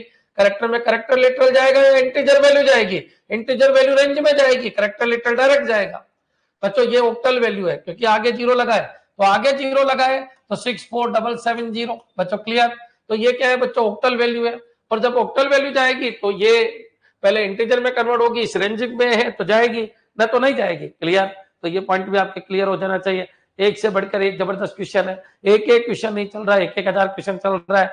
आप 2011-12 के पेपर को मेरे पढ़ाने का तरीका यही है, मैंने भयंकर तरीके से जावा पढ़ा रखी है। बस अब उसको रिमाइंड करो, इन पंद्रह घंटे में ब्रह्मांड की सारी जावा आपकी खोपड़ी में बैठ जानी चाहिए। अरे गुरु ये सब बताया था आपने। मज़ा आ गया, उस दिन भी बताया था। ये सारी चीज़ें आपने बताई थी। बस उसको रिकॉल कर रहा हूँ, ताकि पंद्रह घंटे में आपकी जावा तैयार हो जाए। क्लियर नेक्स्ट चलिए। अब आगे बढ़ते हैं बच्चों। एक बार बताओ ऑक्टल है? ऑक्टल है तो ये क्या है? ए आठ की पावर ज़ीरो से गुणा आठ की पावर एक से आठ की पावर दो, आठ की पावर तीन और आठ की पावर चार। देख लेते हैं वो इंटीजर वैल्यू इस रेंज में आएगी क्या? बिल्कुल इसी रेंज में आएगी, क्योंकि कितना बढ़ जाएगा ये? पैंसठ हज़ार पाँच सौ पैंतीस तो बहुत बड़ा है, इसलिए ये भी चल जाएगा। बच्चों क्लियर तो वन थ्री सिक्स बिल्कुल सही है। बच्चों क्लियर आंसर क्या जाएगा? बी एक बार कमेंट कर दो सब बच्चे कि आंसर बिल्कुल क्लियर है। कोई दिक्कत नहीं, सब कुछ समझ में आ गया। अच्छा करेक्टर में, अरे करेक्टर लेटर डाल दो। हाँ डाल दो। क्या करेक्टर में स्ट्रिंग डाल दो? अरे, स्ट्रिंग जा ही नहीं सकता, करेक्टर में कैसे डाल दोगे? करेक्टर में या तो करेक्टर लिटरल जाएगा या वो वैल्यू जाएगी जो उसकी रेंज के अंदर है। बच्चों क्लियर हाँ जी कमेंट करते रहो कमेंट करते रहो। क्या वैलिड है, क्या इनवैलिड है? करते रहिएगा कमेंट नेक्स्ट एक मैंने इंटरफेस बताया। बताओ इंटरफेस के लिए क्या क्या बताया अभी? कि इंटरफेस के अंदर जितने भी डेटा है, वो पब्लिक स्टेटिक और फाइनल होते हैं। बच्चों क्लियर और मेथड जो होते हैं, वो पब्लिक होते हैं। ये पॉइंट मैंने आपके दिमाग में डालने की कोशिश की। अगर मान लो आजकल की बात करें, जेडी के आर्ट की बात करें तो स्टेटिक मेथड भी आगे, लेकिन उनकी बॉडी होनी चाहिए। प्राइवेट मेथड भी आगे, लेकिन अभी बात नहीं करेंगे। क्या हुआ जेडी के एट और जेडी के नाइन में? कोई ऐसा क्वेश्चन आएगा, उसी समय कराएँगे। लेकिन एक अप्रोच आपकी खोपड़ी में बैठ जानी चाहिए कि इंटरफेस के लिए गुरुजी ने बहुत सारे वर्ड बोले थे कि ऐसी एब्स्ट्रैक्ट क्लास जिसके सारे मेथड एब्स्ट्रैक्ट है, वो इंटरफेस बन जाती है। इंटरफेस इसलिए बनाए जाते हैं ताकि उनको चाइल्ड में इंप्लीमेंट करवाया जा सके। अगर चाइल्ड में मेथड को इंप्लीमेंट कराओगे आप तो याद रखिए, उस मेथड को ओवरराइड करना पड़ेगा। उसको लेके जाना पड़ेगा चाइल्ड के अंदर। अब बच्चों, लेके जाओगे तो मेथड पब्लिक होना चाहिए। बच्चों क्लियर और याद रखिए, जो डेटा है, वो पूरे इंटरफेस के लिए होना चाहिए। प्रत्येक ऑब्जेक्ट के लिए नहीं होना चाहिए। इसलिए वो स्टेटिक होना चाहिए फाइनल होना चाहिए और बच्चों पब्लिक होना चाहिए। क्लियर ये सारी चीज़ें आपके समझ में आ जानी चाहिए। बच्चों, यहाँ से क्वेश्चन निकलेंगे और जहरीले क्वेश्चन निकलेंगे। ऐसे क्वेश्चन निकलेंगे कि बस तुमको पता चलेगा कि हाँ ठीक है यार गुरु जी ने उस मैराथन के अंदर ये सारी चीज़ें बताई थी। नेक्स्ट चलिए, आगे बढ़ते हैं। यहाँ पर आइए which is the valid declaration within an interface definition ठीक है? इंटरफेस की डेफिनेशन के अंदर क्या सही है? बच्चों क्लियर तो बच्चों, आप बताइए मेथड है? मेथड है? बिल्कुल मेथड है। अब मेथड है तो बच्चों पब्लिक डबल मेथड बिल्कुल चलेगा। पब्लिक है, बिल्कुल चलेगा। फाइनल मेथड फाइनल मेथड हो ही नहीं सकता क्योंकि इनको ओवरराइड कराना होता है। ओवरराइड कराओगे तो याद रखिए, फाइनल मेथड हो ही नहीं सकता। स्टैटिक मेथड बिल्कुल नहीं हो सकता क्योंकि इनको ओवरराइड कराना है। बच्चों, याद रखिए, प्रोटेक्टेड मेथड, ये भी नहीं हो सकता। मेथड कैसे होते हैं पब्लिक? बच्चों, क्लियर? तो ये पॉइंट भी आपके क्लियर हो जाना चाहिए। वेरी गुड वेरी गुड अधिकतर बच्चों के सही है। बिल्कुल सही है, अधिकतर बच्चों के। चलिए, आगे बढ़ते हैं। Which one is a valid declaration of a boolean boolean का सही डिक्लेरेशन क्या है? क्लियर सारे क्वेश्चन यूनिक है। बिल्कुल बेसिक क्वेश्चन खोपड़ी हिला देंगे, ऐसे क्वेश्चन है। तो बुलियन का सही डिक्लेरेशन क्या है? तो क्या बुलियन में ज़ीरो डाल सकते हैं? अरे भाई, कहा ज़ीरो? ये ट्रू और फॉल्स लेता है, बच्चों, क्लियर? अरे करेक्टर बना रहा है इसको, डालने का तरीका गलत है, बच्चों, क्लियर? क्या ये करेक्टर लिटरल है? नहीं, ये करेक्टर है? नहीं, करेक्टर नहीं है। बच्चों, बुलियन ट्रू और फॉल्स, बच्चों, याद रखिए बुलियन वैल्यूज़ है, ये चीज़ भी बिल्कुल गलत है। क्या ये बिल्कुल सही है? बिल्कुल, ये बिल्कुल सही है। क्या गुरु जी एक बार बताइए, बुलियन नाम की कोई क्लास है क्या कि बुलियन का फ़ंक्शन? नहीं बुलियन नाम की कोई क्लास नहीं है, बच्चों क्लियर और समझ में आ गया, ये भी बिल्कुल गलत है। बच्चों, ये कह रहे बुलियन में नो डाल दो। अरे, नो नाम की कोई चीज़ ही नहीं है। तो आपका आंसर क्या हो जाएगा बच्चों सी? क्लियर समझ में आ गया होगा। बुलियन कांट भी कन्वर्ट वेरी गुड बुलियन कभी भी कन्वर्ट नहीं होता। बच्चों, कई बार बच्चे ये कह देते हैं, सर, बुलियन के अंदर, बुलियन के अंदर मैं टाइप कास्ट कर देता हूँ। बुलियन ए और यहाँ पर मैंने क्या किया? समझना बच्चों, मैंने यहाँ पर कर दिया बुलियन, यहाँ पर कर दिया मैंने बुलियन और यहाँ पर क्या कर दिया बच्चों फाइव आप बताइए क्या ये सही किया मैंने? बिल्कुल गलत किया मैंने, क्योंकि इंटीजर तो इंटीजर बच्चों इंटीजर की रेंज ये है कि सबसे छोटा क्या होता है? बाइट बाइट से बड़ा क्या होता है? शॉर्ट शॉर्ट से बड़ा क्या होता है बच्चों? इंटीजर इंटीजर से बड़ा क्या होता है? लॉन्ग लॉन्ग किसमें कन्वर्ट होगा? फ्लोट फ्लोट किसमें डबल बच्चों, यही इनका तरीका है टाइप कास्ट होने का। बच्चों क्लियर क्या बुलियन क्या बुलियन कोई टाइप कास्ट होता है? नहीं। क्या करेक्टर टाइप कास्ट होता है? लेकिन इन दोनों में नहीं। ये डायरेक्ट इंटीजर पे जाके टक्कर मारता है और फिर टाइप कास्ट हो जाता है। बच्चों क्लियर तो इस तरीके से आपको आंसर देना है। बच्चों, समझदार बनिए। एक बार एक क्वेश्चन आया character character a five five बच्चों क्लियर करेक्टर ए फाइव और यहाँ पर लिख दिया मैंने double double B double B और असाइन ए बच्चों क्लियर और यहाँ पर मैंने कर दिया एसओपी और यहाँ पर कर दिया बच्चों मैंने बी आंसर बताइए क्या होगा? फाइव नहीं होगा फाइव पॉइंट ज़ीरो होगा, बच्चों क्लियर क्योंकि करेक्टर बाय डिफ़ॉल्ट डबल में कन्वर्ट हो जाएगा, बच्चों क्लियर डबल में जब डालेंगे तो फाइव पॉइंट ज़ीरो क्यों? क्योंकि इम्प्लिसिट कन्वर्ट कर जो आपको बार बार चेंज करने की ज़रूरत नहीं है। क्या ये सारी चीज़ क्लियर है बच्चों? वेरी गुड ऑर्डर लिखते जाओ लिखते जाओ। जो नॉलेज है वो दिखाते जाओ कि हाँ सर, हमारी तैयारी सॉलिड हो रही है। बस भूल गए भूल गए, बाकी ये सारी चीज़ें आपने पढ़ाई। कहीं ना कहीं इधर इधर हो गया, भूल गए, उनको हम कवर कर रहे हैं। गुरु जी हम कुछ चेक करें, कुछ पढ़े, नहीं पढ़े मैराथन देख के चले जाओ, नौकरी लग जाएगी। अभी भी तैयारी स्टार्ट नहीं की, कर लो, बीस दिन बहुत है। बीस दिन में तो पाँच बार रिविजन करा दूँगा मैं आपका। याद रखिए, अभी भी स्टार्ट कर दो मैराथन मैराथन देख जाओ। अगर एक बार पढ़ा हुआ है तो पहले। नेक्स्ट आगे बढ़ते हैं, इस क्वेश्चन को देखिए। बच्चों, यहाँ पर आइए। Which three are valid declaration of a float float का वैलिड डिक्लेरेशन क्या है?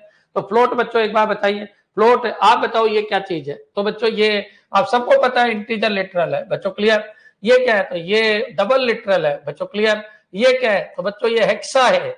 बच्चों क्लियर ये क्या है? तो बच्चों ये डबल लिटरल है। याद रखना है डबल लिटरल है। ये क्या है? तो बच्चों डी लग रहा है तो डबल लिटरल है। ये क्या है? तो ये बच्चों फ्लोट लिटरल है। ठीक है? तो फ्लोट में फ्लोट तो जाएगा? बिल्कुल सही है, कोई दिक्कत ही नहीं। क्या फ्लोट में डबल जाएगा? नहीं जाएगा। बच्चों क्लियर ये क्या है बाई डिफ़ॉल्ट डबल लिटरल है तो इसमें जाएगा, नहीं जाएगा। क्या बच्चों, ये एक्सा है, क्या ये इसमें जाएगा? खूब बड़ी रेंज होती है फ्लोट की। तो बच्चों, ये बनेगा इंटीजर में। सबको पता है, जी, ये एक्सा का सिंबल है। और बच्चों one two three four five ये किसमें कन्वर्ट हो गया? तो बच्चों, ये इसकी इंटीजर वैल्यू में कन्वर्ट हो गया। और ये इंटीजर वैल्यू रेंज देखती है। अब बच्चों रेंज देखिए। सबको पता है कि ये चार बाइट का होता है रेंज खूब बड़ी है। और ये कितना भी ज़ोर मान ले, आराम से कन्वर्ट हो जाएगा और फ्लोट में चला जाएगा। ठीक है, कोई दिक्कत नहीं गुरु जी समझ में आ गया। गुरु जी ये क्या है? डबल है तो डबल क्या इसमें जाएगा? अगर इसको ऐसे कर दोगे आप फ्लॉट बच्चों क्लियर फ्लॉट एफ़ टू और 3.14 बच्चों, ये नहीं जा सकता तो फिर कैसे लिखो इसको? क्योंकि फ्लोट एफ़ टू तो इसके आगे क्या बनाओ? फ्लोट लिखो। इसके आगे फ्लोट लिखो 3.14 तो डबल पहले फ्लोट में कन्वर्ट होगा, फिर जाएगा। बच्चों क्लियर क्यों? क्योंकि ये कैसा है? ये एक्सप्लिसिट कन्वर्जन है। बच्चों क्लियर ये कंपाइलर ऑटोमेटिक नहीं करता है, ये जेवीएम ऑटोमेटिक नहीं करता है। बच्चों क्लियर ये आपको खुद को लिखना पड़ता है तो जेवीएम ऑटोमेटिक करते हैं, उनको इम्प्लिसिट कहते हैं, और जो आपको खुद को करने पड़ते हैं, उनको क्या कहते हैं एक्सप्लिसिट कहते हैं। क्या ये क्लियर है? तो ये पॉइंट भी आपके समझ में आ जाना चाहिए। बच्चों आंसर क्या बना? आंसर बना बच्चों, क्या? यहाँ पर आइए। एक बार बताओ, ये क्या है? तो ये इंटीजर है। क्या इंटीजर इस रेंज में है? बिल्कुल है, कोई दिक्कत ही नहीं। तो वन थ्री सिक्स बच्चों क्लियर तो आपका आंसर क्या आ जाएगा? वन थ्री सिक्स क्या ये क्लियर बच्चों? एक बार कमेंट कर दो कि हाँ सर, बिल्कुल क्लियर है। चलते जाइएगा स्पीड रखिएगा, विचार कीजिएगा क्वेश्चन किस तरीके के विचार कीजिएगा। नेक्स्ट चलिए। जावा की एक मैराथन और हो गई है, उसको देख लेना। उसको देख लेना। बाकी मैं एमसीक्यू से सब कुछ समझा दूँगा। क्लियर समझ में आ गया बच्चों? लेकिन एक बार मेरे से पढ़ा हुआ होना चाहिए थ्योरी एक बार मेरे से थ्योरी पढ़ी हुई होनी चाहिए। एक बार मेरे से थ्योरी पढ़ी हुई है तो फिनिशिंग ला दूँगा। नेक्स्ट चलिए। Which is valid declaration of string string का वैलिड डिक्लेरेशन क्या है? तो स्ट्रिंग के अंदर क्या नल डाल सकता हूँ? बिल्कुल। बच्चों क्लियर एक स्ट्रिंग बनी, कौन सी एस वन क्या एस वन में नल जा सकता है? बिल्कुल, नल जा सकता है। बच्चों क्लियर नेक्स्ट चलिए बच्चों क्लियर ये बताइए, ये तो बिल्कुल गलत है, ये तो करेक्टर बोल रहा है। क्या स्ट्रिंग का टाइप कास्ट कर सकते हो? क्या स्ट्रिंग को टाइप कास्ट करके, अरे, ये करेक्टर बोल रहा है, इसको करेक्टर स्ट्रिंग में कन्वर्ट कर दो। ये कभी पॉसिबल है? नहीं। क्या बच्चों करेक्टर को स्ट्रिंग में कन्वर्ट बिल्कुल नहीं कर सकते। बच्चों क्लियर तो ये सारी चीज़ गलत है, आपका ए बिल्कुल सही है। बच्चों क्लियर खूब बता दिया। अब मेरे हिसाब से अंत तक के कंसेप्ट क्लियर हो जाने चाहिए। नेक्स्ट चलिए, आगे बढ़ते हैं। नेक्स्ट क्वेश्चन है। पढ़िए what is the numerical range of character character की न्यूमेरिकल रेंज क्या है बच्चों? ज़ीरो से लगा के पैंसठ हज़ार पाँच सौ पैंतीस। सबकी रेंज बता रखी है मैंने, कोई दिक्कत ही नहीं है। आपको ध्यान रखना है ज़ीरो से लगा के पैंसठ हज़ार पाँच सौ पैंतीस। क्लियर है बच्चों? करेक्टर दो बाइट का है। और करेक्टर बच्चों अनसाइंड नेचर का होता है। जावा के अंदर बच्चों क्लियर सी के अंदर वन बाइट का होता है। और साइंड नेचर का होता है बच्चों क्लियर और जावा के अंदर साइन और अनसाइन नाम के कोई कीवर्ड नहीं है, ये पॉइंट याद रखना। सी सी प्लस प्लस तक ये सीमित है। बच्चों क्लियर सर एक्सपोनेंशियल फॉर्म वाले फ्लोट में जाएँगे। नहीं बच्चों, नहीं जाएँगे। सत्यनारायण व्यास जब तक नहीं जाएँगे, जब तक उनके पीछे या तो ऐप नहीं लिखा है, या फिर सिंगल प्रिसाइज और डबल प्रिसाइज वर्ड नहीं है। क्लियर तब तक अपन उनके बारे में बता ही नहीं सकते। क्लियर है? सत्यनारायण सन में आ गया, क्योंकि जब उनको कन्वर्ट करोगे तो डबल में ही तो कन्वर्ट होंगे, क्योंकि वो पॉइंट के अंदर है। बच्चों क्लियर तो ये पॉइंट आपके समझ में आना चाहिए। नेक्स्ट चलिए, आगे बढ़ते हैं। यहाँ पर आइए इस क्वेश्चन को देखिए। क्वेश्चन आपके समझ में आ रहा होगा। क्वेश्चन क्या कह रहा है? कोशिश करना बच्चों। देखिए। What will be the output of the program इस प्रोग्राम का क्या आउटपुट है? क्लियर इस प्रोग्राम का क्या आउटपुट है? क्लियर दिख रहा है आप लोगों को? क्लियर दिख रहा है ना? ठीक है। क्लियर दिख रहा है?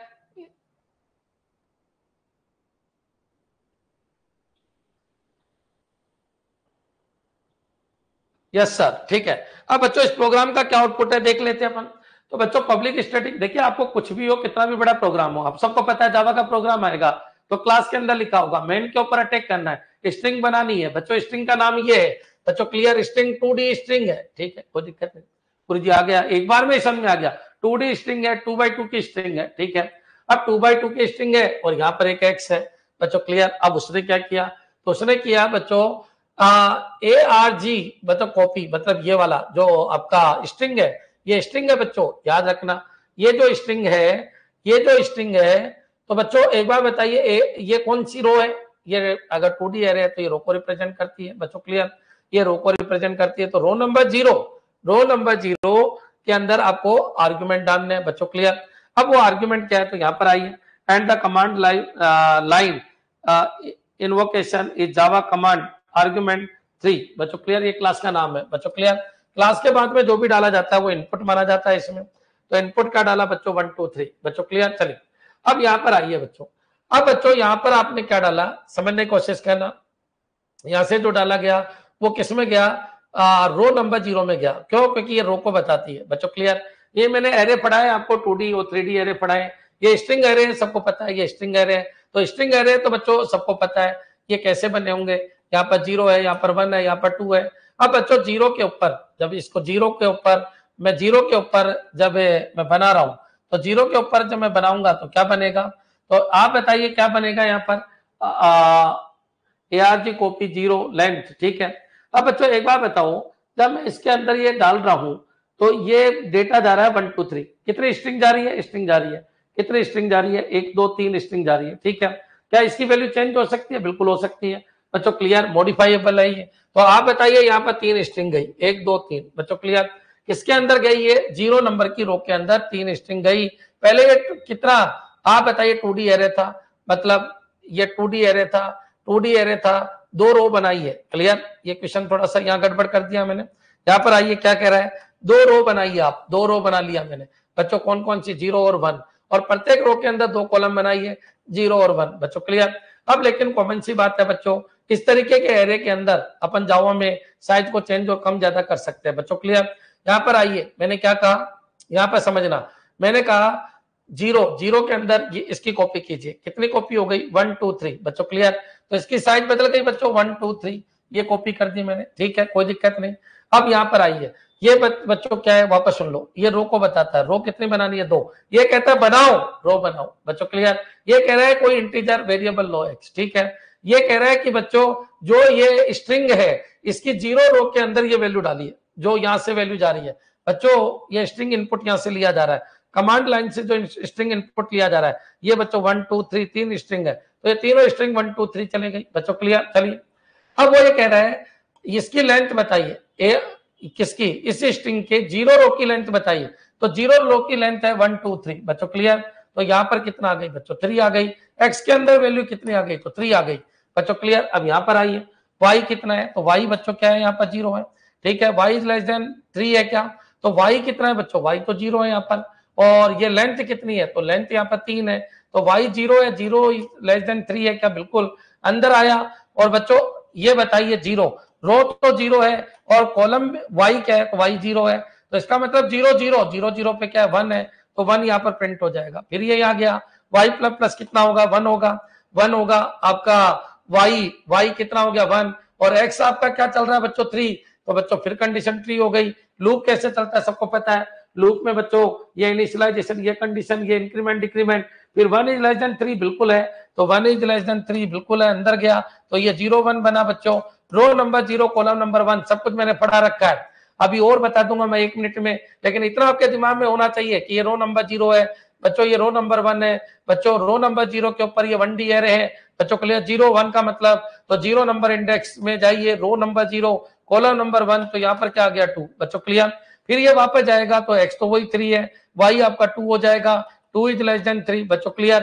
थ्री होगा तो ये ज़ीरो टू की वैल्यू पूछेगा। ज़ीरो टू की वैल्यू क्या हो जाएगी? थ्री। बच्चों क्लियर? एक बार कमेंट करके मेरे को ये बता दो, इस तरीके के एरे को कौन सा एरे कहते हैं? बच्चों क्लियर?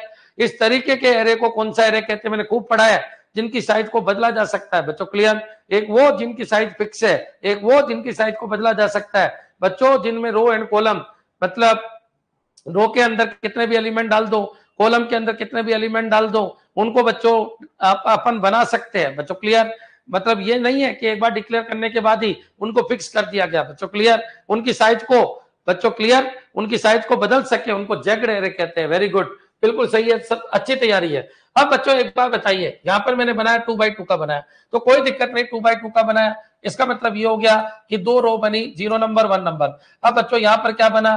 तो यहाँ पर बच्चों ज़ीरो नंबर वन नंबर यहाँ पर क्या बना? यहाँ पर भी वही ज़ीरो नंबर वन नंबर बच्चों क्लियर तो मैं नंबर नीचे कर देता हूँ ताकि आपको कोई दिक्कत नहीं आए। नंबरिंग नीचे कर देता हूँ ताकि आपको कोई दिक्कत नहीं आए। तो बच्चों ज़ीरो नंबर रो ज़ीरो और one number column zero one number row zero और वन कॉलम क्लियर चलिए। अब बच्चों, जब वो ये कहेगा कि एक्स बना लिया, ठीक है, कोई दिक्कत नहीं। अब वो कह रहे हैं रो, जब पहला एलिमेंट आता है, इसके साथ, नाम के साथ तो उसको रो कहेंगे टू डी एरे के अंदर। और दूसरे वाले को कॉलम कहेंगे। तो ये कह रहा है रो नंबर ज़ीरो में ये डाल दीजिए जो कमांड लाइन से स्ट्रिंग ली। जो भी ली, वो स्ट्रिंग ली। बच्चों क्लियर क्या ली? स्ट्रिंग ली। तो ये स्ट्रिंग कितनी आ गई? तीन, एक, दो, तीन। तो तीनों स्ट्रिंग मैंने ली। तो ये यहाँ पर डाल दीजिए ज़ीरो के अंदर। तो बच्चों, ये वन टू थ्री और ये ऑटोमेटिक इस समय बन जाता है। बच्चों क्लियर तो ये भी आपको कोई दिक्कत नहीं होनी चाहिए। अब वो कह रहा है कि ये जो ये जो स्ट्रिंग है, बच्चों क्लियर ज़ीरो नंबर के ऊपर जो ये वनडी स्ट्रिंग है, इसको कहते हैं वनडी स्ट्रिंग इसकी लेंथ क्या है? तो बच्चों, इसकी लेंथ क्या है? अगर वो ये पूछ ले कि इसकी लेंथ क्या है? A R G A R G C O P Y इसकी लेंथ क्या है? बच्चों क्लियर तो अगर वो पूछे इसकी लेंथ क्या है तो इसकी लेंथ बच्चों, इस एरे की लेंथ दो है। बच्चों क्लियर से एरे की लेंथ दो है। लेकिन अगर वो ये कह दे A R G C P copy बच्चों, ज़ीरो की लेंथ क्या है? तो उसकी लेंथ कितनी है बच्चों? तीन। और वन की लेंथ क्या है? तो अभी दो है। बच्चों क्लियर तो ये पॉइंट भी आपको ध्यान रखना है। अब बच्चों, ये एरे कैसे चला? एरे आपको चलाना आता है। ये इनिशलाइजेशन ये कंडीशन फिर अगर ट्रू है तो अंदर, फिर यहाँ पर गया, फिर बच्चों, इस तरीके से पूरा चल रहा है। एक बार इस क्वेश्चन के लिए कमेंट कर दो। आंसर क्या आ जाएगा? वन टू थ्री बच्चों क्लियर एक बार कमेंट कीजिए। अच्छा यहाँ पर वैल्यू डाली है, इसलिए बढ़ गया। यहाँ पर वैल्यू डाली है, इसलिए बढ़ गया। अगर वैल्यू नहीं डालते यहाँ पर, बच्चों क्लियर तो फिर गड़बड़ होती। अभी यहाँ कोई गड़बड़ नहीं है। ये पॉइंट आपके दिमाग में आ जाना चाहिए। बच्चों क्लियर हाँ बिना बनाए ही अगर आप प्रिंट कराना चाहते हो तो फिर बच्चों एक्सेप्शन हैंडल करवाना पड़ता है।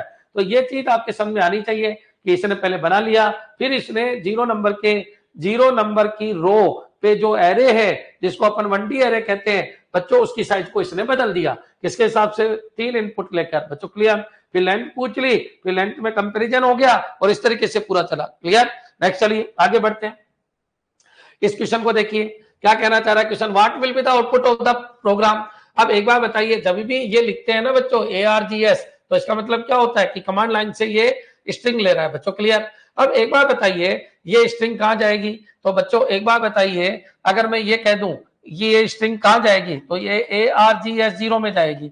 बच्चों क्लियर कितना? वन। ये ए आर जी एस बच्चों, किसमें जाएगी? वन में जाएगी। कितने जाएगी? टू। बच्चों क्लियर यही तो तरीका होता है। और ये किसमें जाएगी? बच्चों A R G S two में जाएगी। बच्चों, कितना थ्री और ये जाएगी इसके अंदर। बच्चों, ये फोर इसके अंदर जाएगी। बच्चों क्लियर यही पैटर्न होता है। जब मैं यहाँ पे डालता हूँ तो ज़ीरो वन टू थ्री इस तरीके से ये पूरा का पूरा एरे है बच्चों। ये अपने आप में एक एरे है बच्चों। क्लियर तो ये जो भी मैं डाल रहा हूँ, जो भी मैं लिख रहा हूँ, वो स्ट्रिंग के रूप में जा रहा है बच्चों। Clear one space two space three space four ये आपकी क्लास का नाम है बच्चों। क्लियर तो ये क्लास के नाम के बाद जो मैं स्ट्रिंग दे रहा हूँ स्पेस दे दे के तो कितनी दी? एक, दो, तीन, चार तो ये चारों यहाँ पे जाएगी। चलिए, अब बच्चों, एक एस वन है। एस वन के अंदर बच्चों, क्या गया? वन गया। तो एस वन के अंदर बन गया तो आप बताइए, बना तो यही ना बच्चों? अपने पास जो बना, वो ये बना। पूरा का पूरा बच्चों ये बना। इसको बोलते हैं ए आर जी एस बच्चों क्लियर अब ये बन चुका। यूज़ इसी को करना है बच्चों क्लियर तो यहाँ पर क्या गया? वन, यहाँ पर टू यहाँ पर थ्री यहाँ पर फोर गया। ठीक है? अब बच्चों वन इसमें जाएगा तो यहाँ पर एस वन में क्या चला गया?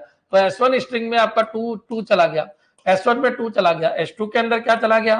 तो एस टू के अंदर बच्चों, आपका थ्री चला गया। बच्चों एस थ्री के अंदर क्या चला गया? एस थ्री के अंदर आपका फोर चला गया। बच्चों क्लियर अब एस फोर के अंदर क्या चला गया? एस फोर बना, लेकिन उसमें आर्ग्यूमेंट फोल ये कौन सी है? तो बच्चों, इसको बोलते हैं A R G S zero बच्चों क्लियर ये A R G S one बच्चों क्लियर ये A R G S two बच्चों क्लियर ये टू है। और ये क्या है बच्चों? A R G S three है। बच्चों क्लियर तो बार, एक बार बताइए, ये A R G S three है। चलिए। ये थ्री है। अब एक बार बताओ, आपको यहाँ फोर लेना है। फोर है क्या? यहाँ पर उपलब्ध है क्या? फोर बना ही नहीं। बना ही नहीं तो क्या आ जाएगा? एक्सेप्शन थ्रो करवा देगा बच्चों क्लियर तो एक बार बताइए, क्या एक्सेप्शन थ्रो कराएगा? तो एन एक्सेप्शन होगा नल पॉइंटर एक्सेप्शन बच्चों क्लियर क्या होगा बच्चों? Null pointer exception null pointer exception का मतलब है कि भाई वहाँ तो कुछ मिला ही नहीं मेरे को। जहाँ पर भी आप ले रहे थे। अब क्वेश्चन ये उठता है कि सर एक बार बताओ यहाँ पर चलिए ये बना ये गया किसमें? तो बच्चों इस एरे के अंदर चला गया। ये एक, एक तरीके की स्ट्रिंग है बच्चों। तो ये आपके समझ में आ गया होगा। ये स्ट्रिंग इनपुट लेने के काम में आए, क्योंकि जावा में स्ट्रिंग का काम बहुत होता है तो स्ट्रिंग इनपुट लेने का एरे है ये। तो बच्चों, ये एरे का नाम ये हो गया। जो मैं यहाँ से देता हूँ, वो ऐसे पुट होता है। अब ये ऐसे पुट होता है, अपन ने ऐसे डाला। ऐसे डाला तो वन यहाँ पर चला गया टू यहाँ पर थ्री यहाँ पर। ये चीज़ बनी नहीं तो बच्चों है ही नहीं। है ही नहीं और डालने की कोशिश कर रहे हो तो क्या आ जाएगी? एरर बच्चों क्लियर तो गुरु जी, इससे पहले वाले में क्या था? इस एरर तो नहीं आएगी एक्सेप्शन हैंडल कर भेज देगा। इसको बोलते हैं बच्चों रन टाइम एक्सेप्शन कंपाइलर बच्चों रन टाइम एक्सेप्शन की तरफ़ इसको भेज देगा और इसको हैंडल कर लेगा। बच्चों क्लियर याद रखिए, जितना एग्जीक्यूट हुआ, उतना तो हो जाएगा। बच्चों क्लियर जितना एग्जीक्यूट हुआ, उतना तो हो ही जाएगा। और बच्चों, जहाँ एक्सेप्शन आएगा, वहाँ से जेबीएम क्या हो जाएगा?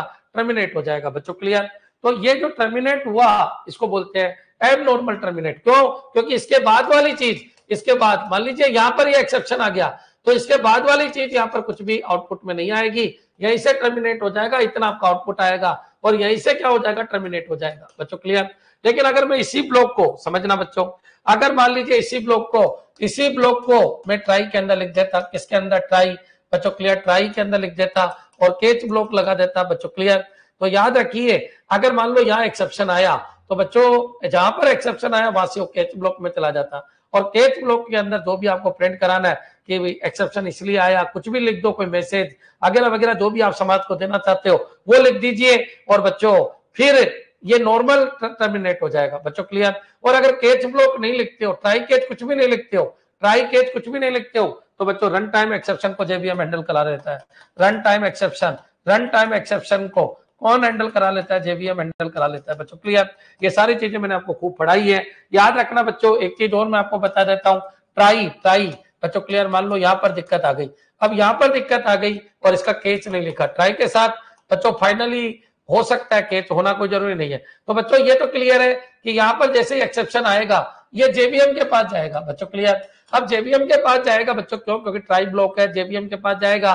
लेकिन उससे पहले जेबीएम के पास जाने से पहले फाइनली पहले काम होगा। बच्चों क्लियर मान लीजिए प्रिंट एप है। तो ये डेटा ये डेटा ये डेटा प्रिंट होके बच्चों, मान लीजिए यहाँ पर कोई प्रिंट चीज़ हो रही है। मान लीजिए यहाँ पर एसओपी हो रहा है और एसओपी के अंदर क्या हो रहा है? अरविंद तो पहले अरविंद प्रिंट होगा, फिर जेबीएम के पास जाएगा। बच्चों क्लियर याद रखिए ट्राई और फाइनली क्या है? फाइनली केवल एक बार एग्जीक्यूट होता है। हर ट्राई का एक ही फाइनली होता है। हर, बच्चों ट्राई का फाइनली कितना होता है? केवल एक होता है। बच्चों क्लियर तो ये पॉइंट आपको ध्यान रखना है। और ट्राई का जो केस होते हैं, वो कितने भी हो सकते हैं। अब याद रखना जिस तरीके का एक्सेप्शन होता है, उस तरीके के केस के अंदर वो चला जाता है और उसको बच्चों क्या करते हैं हैंडल कर लिया जाता है बच्चों क्लियर तो इसके लिए आपको एक बार एक्सेप्शन देखना है।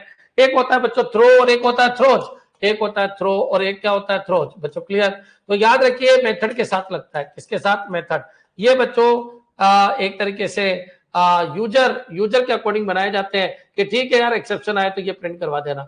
बच्चों क्लियर तो ये तो मेथड के साथ लगाए जाते हैं और ये स्टेटमेंट के साथ लगाए जाते हैं बच्चों क्लियर बहुत सारे क्वेश्चन आ रहे हैं मैं आपको समझाने वाला हूँ। तो बच्चों ये देखा जाए तो यूज़र बेस है। ये दोनों के दोनों क्या है? यूज़र बेस है। यूज़र अपनी सुविधा के हिसाब से कोई चीज़ प्रिंट कराना चाहे एक्सेप्शन में तो बच्चों ये प्रिंट करवा सकता है बच्चों क्लियर और ये ट्राई फाइनली और केज का जो कंसेप्ट है ये बच्चों जे, जेम्स गोस्लिंग बना के गया है बच्चों क्लियर चलिए आगे बढ़ते हैं। नेक्स्ट पॉइंट के ऊपर आप आना है। तो देखिए इस पॉइंट के ऊपर क्या ये क्वेश्चन क्लियर है? एक बार कमेंट तो कर दो। क्लियर है बच्चों? एक मिनट रुकना है ना?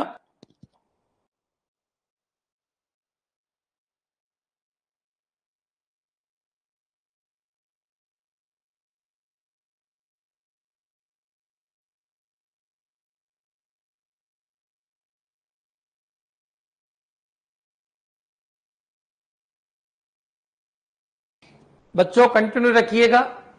ये थोड़ा सा सिस्टम में खराबी चल रही है, अभी हो रहा है सही।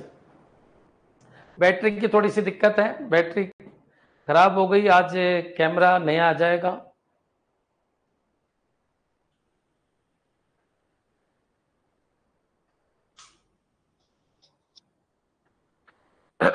बैटरी लो हो गई यहाँ। चार्ज नहीं हो रहा, पता नहीं कैमरा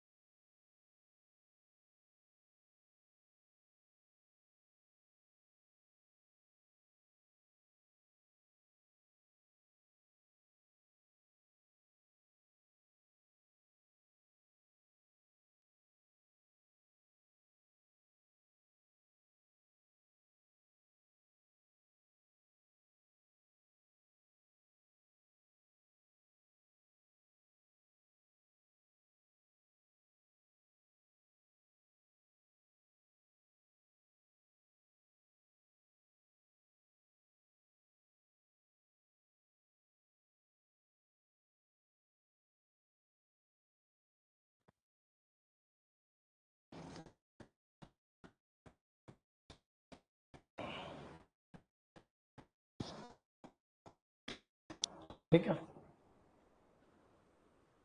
हाँ जी, चलिए स्टार्ट करते हैं। आज आज सेट कर लीजिए। कल तो कैमरा आ जाएगा।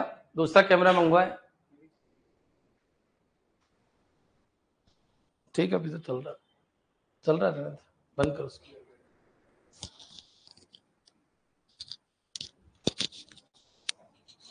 चलिए। हाँ जी नेक्स्ट क्वेश्चन पे चलिए। तो क्या ये क्वेश्चन क्लियर आप लोगों के? तो किस तरीके से इस क्वेश्चन को करना है? ये पॉइंट आपके दिमाग में आ गया होगा कि सर, एक बार बताइए वन टू थ्री फोर लिया आपने, ठीक है। उसके अंदर वन टू थ्री फोर लिया, ठीक है, कोई दिक्कत ही नहीं। तो वन टू थ्री फोर यहाँ पर पहुँच गया और जब आप डाल रहे हो तो ऐसी चीज़ डाल रहे हो जो यहाँ ही नहीं। अब जब यहाँ पर ऐसी चीज़ नहीं है बच्चों तो ये पॉइंट आपके दिमाग में रखना है। क्या क्या आ जाएगा? तो एक्सेप्शन हो जाएगा। और एक्सेप्शन का ट्राई केट का कंसेप्ट मैंने आपको पूरा बता दिया। Clear no sir please repeat ठीक है। अच्छा एक बार बताइए, मैंने अभी जो समझाया था वो क्या बताया था? एक्सेप्शन बताया था।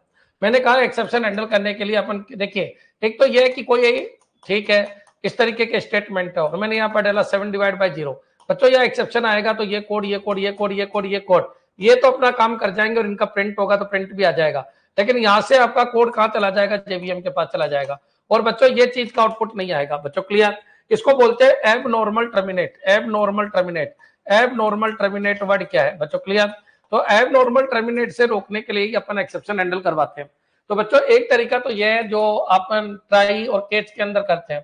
तो ट्राई के अंदर बच्चों, जो क्रिटिकल कोड है वो लिख देते हैं और केच के अंदर बच्चों, उसके रेस्पेक्ट में अगर एक्सेप्शन आए तो आपको क्या प्रिंट कराना है? बच्चों क्लियर मान लीजिए एटीएम खाली हो गया तो आपको प्रिंट कराना है कि एटीएम खाली है, पैसा नहीं मिलेगा। बच्चों क्लियर तो कॉमन सी बात है, जब ये कोड चल रहा है और यहाँ पर पता चला एटीएम खाली हो गया तो बच्चों, यहाँ से वो डायरेक्टली केच में आ जाएगा या जेवीएम से हैंडल नहीं करवाना चाहता खुद हैंडल करना चाहता है बच्चों। क्लियर? तो ट्राई के साथ कौन सा ब्लॉक लगेगा? कैच। और कैच कितने भी लग सकते हैं बच्चों, क्लियर? इनके कुछ रूल है, जो अभी कुछ क्वेश्चन आएगा तो मैं आपको पूरा समझाऊँगा, लेकिन कैच कितने भी लग सकते हैं। लेकिन याद रखना, मान लीजिए ट्राई लगाया और आप हैंडल नहीं कराना चाहते, हैंडल आपको जेबीएम से ही करवाना है तो यहाँ फाइनली आपको लगाना पड़ेगा बच्चों, क्लियर? फाइनली क्या होता है बच्चों? तो मान लीजिए यहाँ पर यह आ गया और यहाँ पर एक्सेप्शन आया। एक्सेप्शन पे जेबीएम की तरफ़ जाएगा। लेकिन बच्चों, उससे पहले एक मैसेज देना चाहते हो आप कि ठीक है जेबीएम हैंडल कर लेगा, लेकिन मैसेज में दे दूँ। अगर मैसेज आपको देना है, बच्चों क्लियर तो याद रखिए फाइनली ब्लॉक ये इसके इसके इसके बाद आपका फाइनली ब्लॉक एग्जीक्यूट होकर फिर जेबीएम के पास जाएगा। बच्चों क्लियर तो ये पॉइंट आपके क्लियर हो जाना चाहिए। एक मैंने ये कहा था कि यूज़र अपने लेवल पे भी इनको क्या कर सकता है हैंडल उसके लिए दो कीवर्ड चलते हैं थ्रो एंड थ्रोच बच्चों क्लियर तो ये पॉइंट भी आपके दिमाग में आ जाना चाहिए। थ्रो एंड थ्रोच क्लियर तो थ्रो तो किसके साथ चलता है? स्टेटमेंट तो थ्रो चलता है फ़ंक्शन के साथ। तो जैसे ही ये क्वेश्चन आएगा, मैं पूरा पोस्टमार्टम कर दूँगा। क्या इतना क्लियर है आपके? क्लियर है? एक बार कमेंट कर दो कि हाँ सर, पूरा केस क्लियर हो गया। एक्सेप्शन हैंडलिंग पढ़ा रहे हो आप। एक्सेप्शन आया यहाँ पर। तो बच्चों array out of bound exception यहाँ पर क्या आया बच्चों? ये बताइए, यहाँ पर क्या आया? यहाँ पर क्या आया? नल पॉइंटर एक्सेप्शन नहीं आया। यहाँ पर क्या आया? Array out of bound exception बच्चों क्लियर नल पॉइंटर एक्सेप्शन नहीं है ये। याद रखना क्या आया? Array out of bound exception array out of bound exception क्यों? क्योंकि एरे आउट ऑफ़ बाउंड है बच्चों बाउंड एक्सेप्शन क्लियर है? तो ये चीज़ आपके प्रिंट हो जाएगी। बच्चों क्लियर चलिए आगे बढ़ते हैं तो कुछ एक्सेप्शन के नाम भी याद रखना है, क्योंकि एरे है तो array out of bound exception clear next null pointer exception क्या होता है? तो ये भी मैं आपको बता देता हूँ। मान लीजिए कोई स्ट्रिंग है, बच्चों, कोई स्ट्रिंग है, और कोई स्ट्रिंग है, और ये स्ट्रिंग आपका क्या है? मान लीजिए कोई स्ट्रिंग है स्ट्रिंग ये है चलिए, इस तरीके से मैंने यहाँ पर लिया स्ट्रिंग यहाँ पर कर दिया मैंने फाइव और यहाँ पर मैंने कुछ वैल्यू डाल रहा हूँ। बच्चों क्लियर तो वो जो वैल्यू डाली मैंने बच्चों, ठीक है? अगर एक तरीके से ये बोल सकते हैं, अगर अपन रेफरेंस नल ले स्ट्रिंग का रेफरेंस नल ले, जैसे मान लो ए है और उसको मैं नल कर दूँ तो बच्चों, ये होता है नल पॉइंटर एक्सेप्शन क्लियर तो किसी स्ट्रिंग का वैल्यू नहीं वैल्यू तो हो सकती है नल किसी स्ट्रिंग की वैल्यू तो नल हो सकती है। लेकिन किसी स्ट्रिंग का रेफरेंस नल होगा तो वो होता है नल पॉइंटर एक्सेप्शन क्लियर तो ये पॉइंट भी आपके समझ में आ जाना चाहिए. क्लियर अब एक एक क्वेश्चन में इतना ही समझा पाऊँगा. फिर आगे बढ़ते हैं. कोई क्वेश्चन आने दीजिए, फिर अपन पूरा समझेंगे. क्लियर नेक्स्ट चलिए, आगे बढ़ते हैं बच्चों. काफ़ी लेट हो गए. स्पीड रखो स्पीड रखो स्पीड रखो. यहाँ पर आइए, इस क्वेश्चन को देखते हैं. बच्चों, ये कह रहा है पब्लिक क्लास पब्लिक क्लास का नाम ये है. तो what will be the output of the program ठीक है? अब बच्चों, एक बार बताइए पब्लिक वर्ड में string argument system dot out dot print ठीक है? और बच्चों, यहाँ पर what will be the output of the program if this code is execute with the command line बच्चों, ये आपको यहाँ पर स्ट्रिंग दी गई है। स्ट्रिंग का नाम क्या है बच्चों? वर्ल्ड बच्चों क्लियर यहाँ पर बताइए, यहाँ पर क्या दिक्कत है? यहाँ पर ये दिक्कत है कि अगर आप कमांड लाइन से इनपुट ले रहे हो तो ये इनपुट बच्चों यहाँ जाएँगे। और ये जाएगा तो ये बच्चों मेन के अंदर होना चाहिए। और मेन हमेशा क्या होना चाहिए? स्टैटिक होना चाहिए। बच्चों क्लियर तो यहाँ मेन स्टैटिक नहीं है। इसका मतलब एरर दे देगा। The code doesn't run. बच्चों, क्लियर? तो ये पॉइंट आपके समझ में आ जाना चाहिए। क्यों? क्योंकि मेन हमेशा स्टैटिक होना ही चाहिए। बच्चों, एक बार बताइए आप जो भी दोगे, वो यहाँ जाएगा। बच्चों क्लियर ये बनेगा। ये बनेगा बच्चों, इसका नाम ए आर जी एस बनेगा। यहाँ पर क्या बनेगा? ये वर्ल्ड जाएगा यहाँ पर। बच्चों, इसको क्या बोलेंगे? तो इसको ये भी बोल सकते हैं अपन। इस तरीके से पूरी कोडिंग होगी। लेकिन बच्चों, आप बताइए क्या ये सब कुछ होगा? नहीं होगा। क्यों? क्योंकि मेन हमेशा क्या होना चाहिए? पब्लिक भी होना चाहिए। पब्लिक इसलिए होना चाहिए क्योंकि इसको पूरे प्रोग्राम में से कहीं से भी कॉल किया जा सकता है। स्टेटिक ये इसलिए होना चाहिए कि बच्चों, क्योंकि सबसे पहले जेबीएम में लोड होता है। बच्चों क्लियर तो ये पॉइंट आपके दिमाग में आ जाना चाहिए कि बच्चों स्टेटिक समझ में आ गया होगा। स्टेटिक क्यों होना चाहिए? पब्लिक क्यों होना चाहिए? वॉइड आप करना चाहो, नहीं करना चाहो, वो आपकी मर्ज़ी है।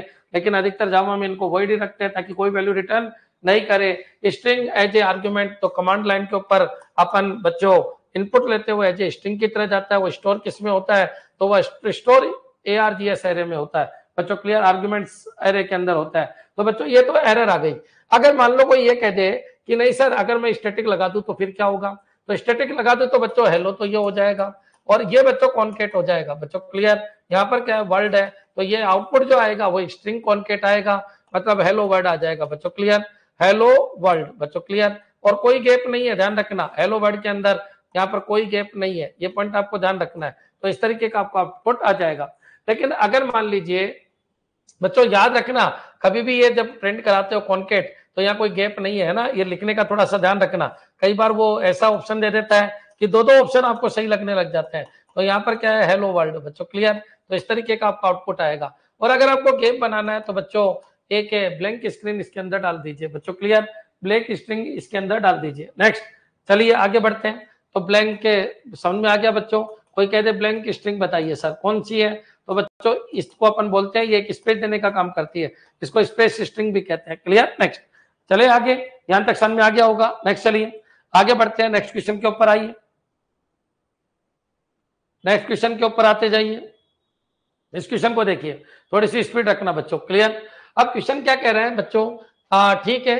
And the command line invocation is Java command ठीक है ये आपकी ट्री है और ये क्या है बच्चों? वन, टू, थ्री है। वन, टू, थ्री किसमें चला गया? तो ये सबको पता है ए आर जी एच के अंदर चला गया। बच्चों, इसका नाम A R G H zero है। इसका क्या है बच्चों? ए आर जी एच बच्चों क्लियर वन है और यहाँ पर क्या है? ए आर जी एच यहाँ पर कितना है बच्चों? टू है। और यहाँ पर वन, टू, थ्री चला गया। ठीक है, कोई दिक्कत नहीं। ये काम आपका यहाँ पर हो गया। अब बच्चों, आपका एक्स बन गया और इसके अंदर इसकी लेंथ आ गई। लेंथ कितनी आ गई बच्चों? थ्री आ गई। अब बच्चों थ्री आ गई वाई वाई के अंदर कितना आ गया? तो वाई के अंदर वन आ गया कंडीशन बिल्कुल ट्रू है one is less than equivalent three है। बच्चों, अंदर आया और इसको प्रिंट कराया वन वन को प्रिंट करा दिया। बच्चों क्लियर वाई की वैल्यू वन है तो वन को प्रिंट करा दिया। तो A R G H one बच्चों क्लियर अब वन है तो बच्चों वन की जगह यहाँ पर टू आ जाएगा। क्यों? क्योंकि इंडेक्स को रिप्रेजेंट करता है। बच्चों क्लियर चलिए, अब यहाँ पर गया तो वाई प्लस प्लस टू हो गया टू लेस देन है। तो बच्चों, एक बार बताइए टू के लिए भी ये प्रिंट हो गया। कितना बच्चों? थ्री ठीक है यहाँ तक कोई दिक्कत नहीं है। अब बच्चों ये यहाँ पर गया तो थ्री भी बिल्कुल ट्रू है। थ्री भी बिल्कुल ट्रू है। बच्चों क्लियर थ्री देन थ्री नीचे आया। तो बच्चों ए आर जी थ्री है ही नहीं। तो ये वही है an exception is thrown at run time clear तो ये पॉइंट समझ में आ गया बच्चों? इसका आंसर डी आएगा वन टू थ्री नहीं आएगा। क्यों? क्योंकि ए आर जी थ्री है ही नहीं। तो ये पॉइंट आपको ध्यान रखना है इसका आंसर डी आ जाएगा। क्या ये क्लियर है बच्चों? एक्सेप्शन कब होगा? जब एरे जो बना उसके अंदर जो आपको चाहिए वो है ही नहीं। बच्चों क्लियर तो वो आ, क्या दे देगा? वो एक्सेप्शन थ्रो करवा देगा। क्लियर नेक्स्ट चलिए आगे बढ़ते हैं। इस क्वेश्चन को देखिए। अच्छा क्वेश्चन है। थोड़ा सा अपन लॉजिक लगाते हैं। क्वेश्चन को समझिए। What will be the output of the program clear तो इस प्रोग्राम का क्या आउटपुट है? ये क्वेश्चन है। लेकिन आउटपुट क्या है? ये क्वेश्चन है। क्लियर ये वही है बच्चों। अब देखो, एक मिनट सुनो। ये थ्री डी एरे है। क्लियर अब थ्री डी एरे है तो बच्चों, आप सबको पता है कि एक काम करें। ऐसे क्वेश्चन को लास्ट में लेते हैं। ना तो बहुत सारे बच्चे घबरा जाएँगे। क्लियर तो थोड़ा सा अपन आगे बढ़ते हैं, इनको लेंगे लास्ट में। यहाँ पर आइए, इस क्वेश्चन को भी अपन देखते हैं। बच्चों, ये स्ट्रिंग है, बिल्कुल स्ट्रिंग है। स्ट्रिंग की साइज़ कितनी है? फाइव है तो ठीक है, यहाँ पर कोई दिक्कत नहीं। यहाँ पर आपने क्लास का नाम क्या है? एक्स है। यहाँ पर ए और बी डाला है। बच्चों क्लियर अब ए और बी डाला है तो बच्चों, एक चीज़ तो आपको क्लियर कर देता हूँ। ए डाला, आपने बी डाला। बच्चों क्लियर और बाकी इन सब के अंदर क्या है? नल है नल है और नल है। बच्चों क्लियर चलिए, यहाँ तक तो आपको कोई दिक्कत नहीं है। तो बच्चों, इसका काम खत्म हो गया। फिर लूप चला। एक्स ज़ीरो चला कंडीशन ट्रू है। आर्ग्यूमेंट बच्चों क्लियर इसको क्या बोलते हैं? ये है ए आर जी एस बच्चों क्लियर ये आपकी स्ट्रिंग है, इसकी लेंथ कितनी है? तो इसकी लेंथ पाँच है। और बच्चों कंडीशन ट्रू है। अब ट्रू है तो बच्चों ज़ीरो के ऊपर क्या आ गया? इसकी वैल्यू चले गई। ए चला गया। बच्चों क्लियर तो एक बार बताइए, यहाँ पर क्या प्रिंट होगा? तो एक्स की वैल्यू ज़ीरो है तो ज़ीरो के ऊपर। नेम ज़ीरो तो नेम ज़ीरो नेम ज़ीरो के अंदर ये आ जाएगा। तो नेम ज़ीरो का मतलब ये है, आप नेम नाम की स्ट्रिंग बना रहे हो। ठीक है? अब नेम नाम की स्ट्रिंग जो बना रहे हो उसकी साइज़ भी आपकी कितनी है? पाँच है। बच्चों क्लियर और ये जो ये इसकी साइज़ है सॉरी ये नेम ना, नाम था। यहाँ पर क्या है? ये ये नहीं है। ये समझना बच्चों ये समझना क्या गड़बड़ की है। वापस देख लीजिए एक बार। बच्चों क्लियर चलो यहाँ से जो ये स्ट्रिंग बनी ये तो हो गया आपका ए और बी ठीक है? कोई दिक्कत नहीं। यहाँ पर आ जाइए। तो इसकी इसकी जो लेंथ है वो कितनी है? इसकी लेंथ दो है। इसकी लेंथ कितनी है? बच्चों, दो है। ठीक है, कोई दिक्कत नहीं। अब बच्चों, ये जैसे ही मैंने बनाया तो यहाँ पर क्या आएगा? तो सबसे पहले बच्चों, यहाँ पर नल नल नल आ जाएगा। बच्चों क्लियर नल नल नल नल नल बच्चों क्लियर ये लाइन आपकी खत्म। ठीक है, ये लाइन आपकी यहाँ पर बन गई। ठीक है, इसका नाम क्या है? ए आर जी एस है। बच्चों क्लियर ठीक है। अब बच्चों एक्स ज़ीरो है। ठीक है, यहाँ तक भी कोई दिक्कत नहीं। अब बच्चों, ये कंडीशन ट्रू है। बिल्कुल ट्रू है एक्स ज़ीरो है। और ये क्या है? बच्चों, दो है। लेंथ कितनी है? इसकी दो है। बच्चों, इसको क्या बोलेंगे? A R G S zero है। और इसको क्या बोलेंगे? A R G S one है। बच्चों क्लियर तो चलिए, यहाँ तक भी कोई दिक्कत नहीं। अब कंडीशन ट्रू है तो नेम ज़ीरो नेम ज़ीरो क्योंकि एक्स ज़ीरो है। उसके अंदर ये कॉपी हो जाएगा। बच्चों क्लियर बिल्कुल कॉपी हो जाएगा। तो यहाँ पर क्या आ जाएगा बच्चों? ए आ जाएगा, ठीक है? फिर बच्चों, यहाँ पर आइए लूप यहाँ से अंत तक आपका क्लियर फिर वापस ऊपर गया। क्यों? क्योंकि लूप की कोई बॉडी नहीं है तो एक लाइन उसकी है, सब कुछ पढ़ा रखा है मैंने। एक्स प्लस प्लस कर दो एक्स प्लस प्लस करोगे तो कितना आ जाएगा बच्चों? वन आ जाएगा। कंडीशन वापस ट्री होगी। बच्चों one is less than two, बिल्कुल ट्रू अंदर आएगा। बच्चों इसमें बी आ जाएगा, ठीक है, यहाँ पर बी आ गया, ठीक है, ये यहाँ से हट गया। नेक्स्ट चलिए, अब बच्चों फिर यहाँ पर जाएगा एक्स प्लस प्लस कितना हो जाएगा? टू हो जाएगा। अब बच्चों ये बताइए कंडीशन ट्रू है फॉल्स है तो फॉल्स हो गई। फॉल्स हो गई तो लूप से बाहर आ गया। बच्चों क्लियर नेम टू आपको प्रिंट कराना है। डायरेक्टली नेम टू अब बच्चों देखिए, आपने ध्यान ही नहीं दिया नेम टू क्या है? तो नेम टू बच्चों यहाँ पर क्या है? तो यहाँ पर नल है। तो बच्चों यहाँ पर क्या प्रिंट हो जाएगा? नल हो जाएगा। क्लियर मेरे हिसाब से काफ़ी अच्छा समझ में आ गया होगा। किस तरीके से ये इनपुट लेते हैं, किस तरीके से इसका एरे बनता है, किस तरीके से अपनी ये स्ट्रिंग एरे बना, बच्चों क्लियर ये कौन सा एरे है? ये स्ट्रिंग एरे है, बच्चों क्लियर याद रखिए इसकी साइज़ कितनी है? पाँच। इसका नाम क्या है? नेम बच्चों क्लियर ये कौन सा एरे बनेगा? ये आर्ग्यूमेंट एरे बनेगा। बच्चों उसकी साइज़ कितनी है? तो दो साइज़ है, बच्चों क्लियर जितने इनपुट दोगे, उतने का बनेगा। इसकी कॉपी इधर कर रहे कर लो, बच्चों क्लियर लूप कैसे चलता है? कोई पार्ट नहीं है तो एक पार्ट उसका है। ये क्या है? इनिशियलाइजेशन ये कंडीशन ये बॉडी और ये इंक्रीमेंट डिक्रीमेंट किस तरीके से काम हो रहा है, मेरे हिसाब से क्लियर हो गया होगा। क्लियर नेक्स्ट चलिए, आगे बढ़ते हैं। सबके क्लियर है ना बच्चों? किस तरीके से ये काम हो रहा है, ये समझना है। नेक्स्ट चलिए, आगे बढ़ते हैं। You want sub class in any package बच्चों क्लियर कोई पैकेज है? बच्चों क्लियर ये पैकेज है। अब बच्चों, एक बार बताइए you want sub class in any package to have access to member of a super class बच्चों क्लियर अब ये सुपर क्लास है। बच्चों क्लियर ये सुपर क्लास है। एक बार समझना बच्चों सुपर क्लास ही है। और ये क्या है बच्चों, सब क्लास ही है। अब बच्चों, ये दोनों एक पैकेज के अंदर भी नहीं है। बच्चों क्लियर उसने बोला, कोई किसी भी पैकेज में हो सकता है। बच्चों क्लियर अब बच्चों, वो ये कह रहा है कि यहाँ के डेटा को मेरे को यहाँ एसेज करना है, ठीक है? You want to sub you want sub classes in any package to have access to member of a super class बच्चों, यहाँ के मेंबर को सुपर क्लास के अंदर एसेज करना है which is the most restrictive access that accomplish this objective बच्चों clear तो एक बार बताइए, ये तो आपको क्लियर है कि जो सुपर क्लास है, बच्चों क्लियर सुपर क्लास का जो एसेज मॉडिफायर है, एक बार बताओ एसेज मॉडिफायर कितने होते हैं? तो एसेज मॉडिफायर होते हैं चार पब्लिक प्राइवेट प्रोटेक्टेड बच्चों क्लियर और डिफ़ॉल्ट बच्चों क्लियर तो ये चीज़ तो आपका गलत है तो यहाँ पर एक वर्ड और डाल देता हूँ क्या? डिफ़ॉल्ट तो बच्चों, याद रखिए डिफ़ॉल्ट को अपन पैकेज प्राइवेट भी कहते हैं, बच्चों क्लियर कई बार क्वेश्चन आ जाता है पैकेज प्राइवेट एक होता है प्राइवेट तो जो प्राइवेट होता है, वो अपनी क्लास के अंदर ही एसेज हो सकता है। बच्चों, जो क्लास के अंदर ही एसेज हो सकता है। बच्चों, जो नेटिव नेटिव नेटिव होते हैं, उनको क्या कहते हैं अपन प्राइवेट बच्चों क्लियर जो नेटिव मेथड होते हैं नेटिव मेथड होते हैं, जो अपनी क्लास के अंदर ही एसेज हो सकते हैं, उनको अपन क्या कहते हैं बच्चों प्राइवेट पब्लिक होते हैं, वो पूरे के पूरे प्रोग्राम में कहीं भी एसेज हो सकते हैं। बच्चों क्लियर अगर मैं बात करूँ डिफ़ॉल्ट तो डिफ़ॉल्ट क्या होता है बच्चों? ये भी आपको समझना है। डिफ़ॉल्ट बच्चों अपने पैकेज पैकेज प्राइवेट बोलते हैं इसको। तो ये अपने पैकेज में सभी क्लासेज उनको एसेज कर सकती है। तो बच्चों, याद रखना डिफ़ॉल्ट जो होते हैं, वो अपने पैकेज के अंदर जितने भी क्लास है, मान लो ये पैकेज है, बच्चों क्लियर ये पैकेज है। अब इस पैकेज के अंदर कितनी क्लास है? मान लो ये क्लास है, ये क्लास है, ये क्लास है, ये क्लास है, और यहाँ पर डिफ़ॉल्ट है। तो बच्चों, इसमें जितने भी क्लास है, वो सारी क्लासेस डिफ़ॉल्ट को यूज़ कर सकती है। बच्चों क्लियर तो ये पॉइंट आपको ध्यान रखना है। तो इसलिए इसको कहते हैं पैकेज प्राइवेट बच्चों क्लियर प्राइवेट को बच्चों कौन यूज़ करेगा? मान लीजिए यह आपका पैकेज है और ये पैकेज है और ये पूरी आपकी क्लास है तो इस क्लास वाले ही इसको यूज़ कर सकते हैं। बच्चों, यही आपस में इसको यूज़ कर सकते हैं। बच्चों क्लियर पब्लिक को कौन यूज़ करेगा? तो पब्लिक को बाहर के पैकेज भी यूज़ कर सकते हैं। बच्चों क्लियर ये पैकेज है, ये पूरा पैकेज है तो बाहर के पैकेज या खुद ये बोल दो कि बच्चों यूनिवर्सल है, कोई भी यूज़ कर सकता है। ये क्या है? यूनिवर्सल है, कोई भी यूज़ कर सकता है। अब आ जाइए प्रोटेक्टेड बच्चों क्लियर प्रोटेक्टेड को कौन कौन यूज़ कर सकता है? एक तो बच्चों, याद रखना, एक तो सब क्लास में यूज़ हो जाता है, सब क्लास। अब सब क्लास में कैसे यूज़ होता है? चाहे पैकेज अलग अलग हो तो भी यूज़ हो जाता है, लेकिन वो सब क्लास होनी चाहिए। पैकेज अगर अलग अलग पैकेज अगर अलग अलग है, पैकेज अगर डिफरेंट डिफरेंट है तो बच्चों और सब क्लास है तो भी वो यूज़ हो जाता है, बच्चों क्लियर और अपनी क्लास में तो यूज़ होगा ही तो प्रोटेक्टेड बच्चों अपने पैकेज में तो यूज़ होगा ही। अपने पैकेज के अंदर तो ये यूज़ होगा ही।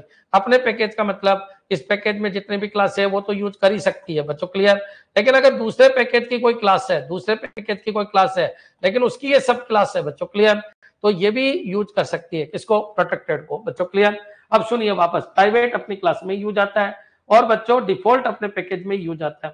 और प्रोटेक्टेड डिफरेंट अपने पैकेज में तो यूज़ आते ही है डिफरेंट पैकेज में भी यूज़ आ जाता है, बच्चों क्लियर अगर मान लो ये सुपर क्लास है ये चाइल्ड क्लास है तो ये चाइल्ड क्लास भी इसको यूज़ कर सकती है लेकिन एक शर्त होनी चाहिए। बच्चों क्लियर? एक शर्त होनी चाहिए दो, दोनों डिफरेंट में है तो भी ये यूज़ कर सकता है लेकिन एक आ, याद रखना पेरेंट चाइल्ड कंसेप्ट होना चाहिए इनहेरिटेंस होना चाहिए। बच्चों क्लियर? तो अभी ये क्वेश्चन है ये पॉइंट आपके समझ में आ जाना चाहिए। अगर कोई कह दे सबसे ज़्यादा रेस्ट्रिकेटिव कौन है? तो सबसे ज़्यादा रेस्ट्रिकेशन किसके ऊपर है? प्राइवेट प्राइवेट के बाद किसके ऊपर है? तो प्राइवेट के बाद बच्चों डिफ़ॉल्ट के ऊपर है। डिफ़ॉल्ट के बाद किसके ऊपर है? तो डिफ़ॉल्ट के बाद बच्चों प्रोटेक्टेड के ऊपर है। और सबसे कम रेस्ट्रिकेशन किसके ऊपर है? तो पब्लिक के ऊपर है। बच्चों क्लियर तो अगर मैं बोलू लेस रेस्ट्रिकेशन रेस्ट्रिकेशन तो बच्चों याद रखना कौन है पब्लिक और हाई रेस्ट्रिकेशन तो वो कौन है बच्चों आपका प्राइवेट बच्चों क्लियर तो ये लाइन भी आपके क्लियर हो जानी चाहिए। प्राइवेट को बच्चों केवल क्लास के अंदर ही एसेट किया जा सकता है। क्लास के मेंबर ही उसको एसेट कर सकते हैं। डिफ़ॉल्ट को बच्चों पैकेज के अंदर की क्लासेज आपस में शेयर कर सकती है बच्चों। क्लियर प्रोटेक्ट को पैकेज के अलावा, बच्चों, अगर डिफरेंट डिफरेंट पैकेज में चाइल्ड पेरेंट कंसर्ट बन रहा है तो डिफरेंट डिफरेंट पैकेज में भी काम आ जाता है। और ये सब जगह काम आ जाता है। अगर आपके एसेट मॉडिफायर क्लियर है तो एक बार कमेंट कर दीजिए कि हाँ सर बिल्कुल क्लियर है, कोई दिक्कत नहीं। इनको बोलते हैं एसेट मॉडिफायर बच्चों क्लियर तो एसेट मॉडिफायर में कोई दिक्कत है तो बताइए। क्या ये क्लियर है? समझ में आ गया सबके? कि हाँ सर एसेट मॉडिफायर का पूरा खेल समझ में आ गया। सबसे पहले प्राइवेट प्राइवेट के बाद डिफ़ॉल्ट डिफ़ॉल्ट के बाद बच्चों प्रोटेक्टेड प्रोटेक्ट के बाद पब्लिक क्लियर तो यहाँ तक आपके समझ में आ जाना चाहिए। अब क्वेश्चन ये कह रहा है कि बच्चों you want sub class in any package ठीक है?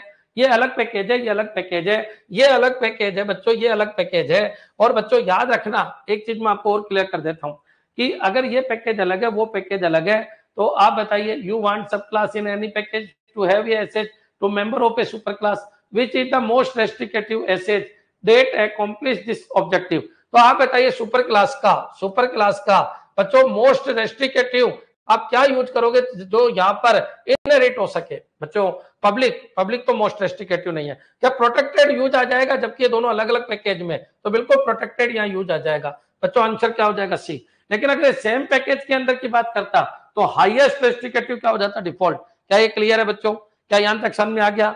बच्चों क्लियर एसेज मॉडिफायर कितने होते हैं? चार। बच्चों कौन कौन से होते हैं? प्राइवेट होता है। प्राइवेट होता है, बच्चों डिफ़ॉल्ट होता है प्रोटेक्टेड होता है पब्लिक होता है। बच्चों क्लियर किस तरीके से पूरा चलता है, पूरा सिस्टम को समझना है। याद रखिए, यहाँ से एक एमसीक्यू थ्योरी का ज़रूर आएगा। सेम में डिफ़ॉल्ट वेरी गुड करुणा, बिल्कुल सही है। अगर सेम पैकेज की बात करें तो हाईएस्ट रेस्ट्रिकेटिव क्या हो सकता है बच्चों? डिफ़ॉल्ट हो सकता है बच्चों क्लियर लेकिन अलग अलग पैकेज की बात करें तो सुपर क्लास सुपर क्लास का कोई मेथड है, मान लो। अगर मैं और और डीप में लेके जाना चाहूँ, मान लो ये अलग पैकेज है, बच्चों क्लियर ये पैकेज ही है।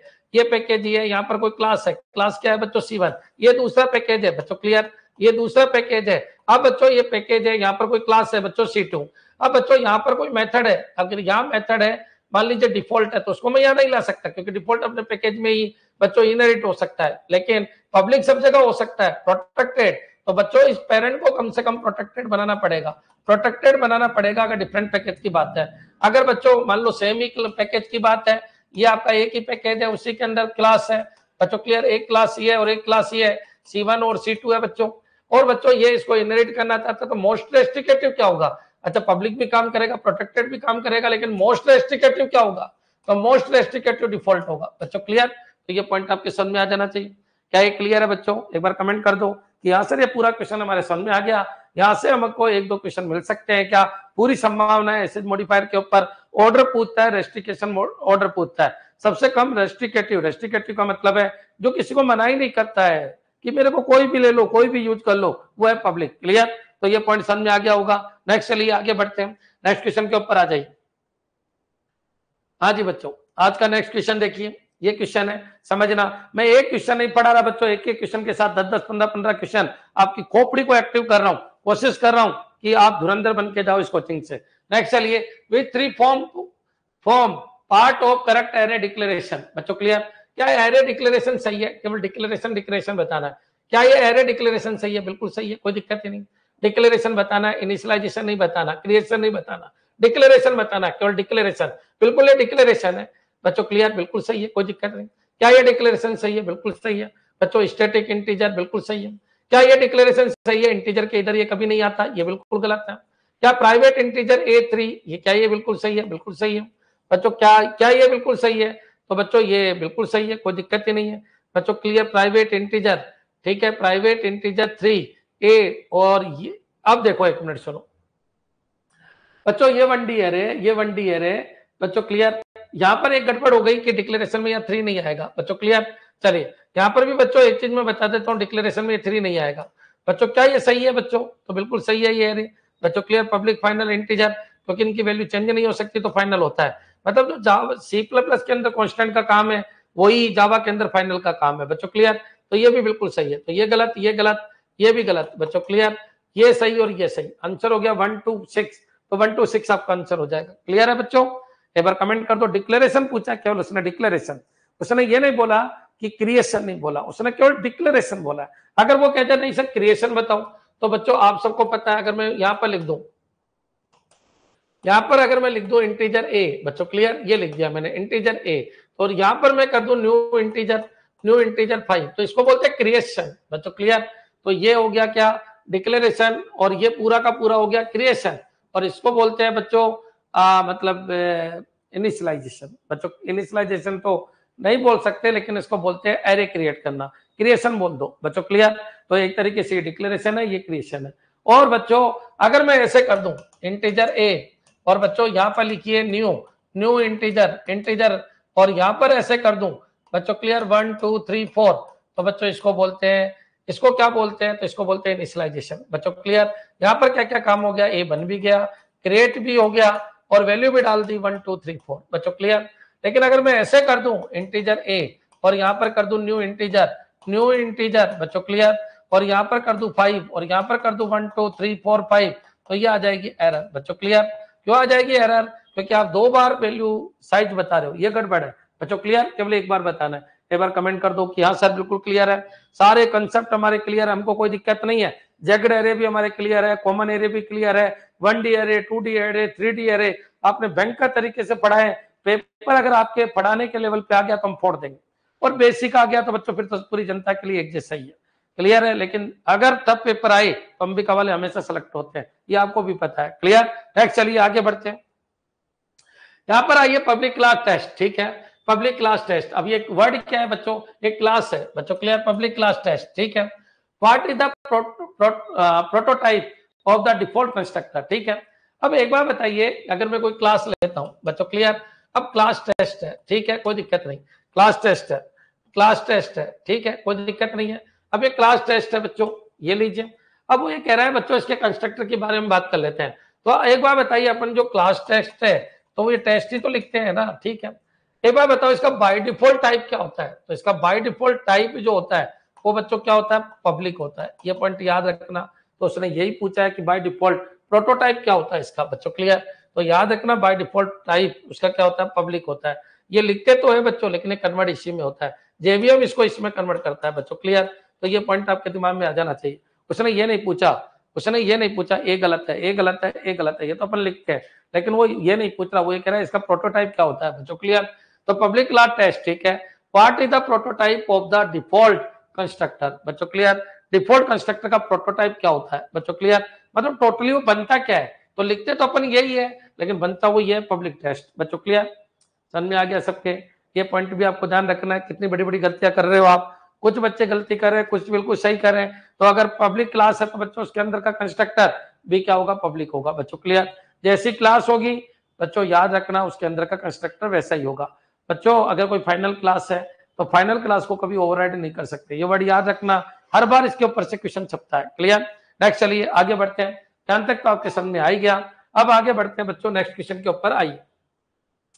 What is the most restrictive access modifier that will allow member of one class to have access to member of another class in same package? तो same package की अगर बात करें तो हाईएस्ट रेस्ट्रिकेटिव क्या होगा? डिफ़ॉल्ट एसेट बच्चों क्लियर इसको बोलते हैं। पैकेज प्राइवेट बच्चों क्लियर तो ये पॉइंट भी आपके समझ में आ गया होगा, अभी जैसे समझाया था तो इसको बार बार समझाने की ज़रूरत नहीं पड़नी चाहिए। ये थ्योरी के क्वेश्चन आपके क्लियर हो जाना चाहिए। मैं गारंटी लेता हूँ जावा के अगर पचास क्वेश्चन आए, और पचास में से पचास मेरे पढ़ाए में से नहीं आए तो मेरे को एक कॉल ज़रूर करना। सारे के सारे क्वेश्चन यहाँ से बैठा दूँगा। बस आप इसको पढ़ते जाइएगा। डिफ़ॉल्ट एक्सेस बच्चों क्लियर नेक्स्ट चलिए। आगे बढ़िए, इनको देखिए। क्या कहना चाह रहा है? Which of the following is are legal method declaration ठीक है?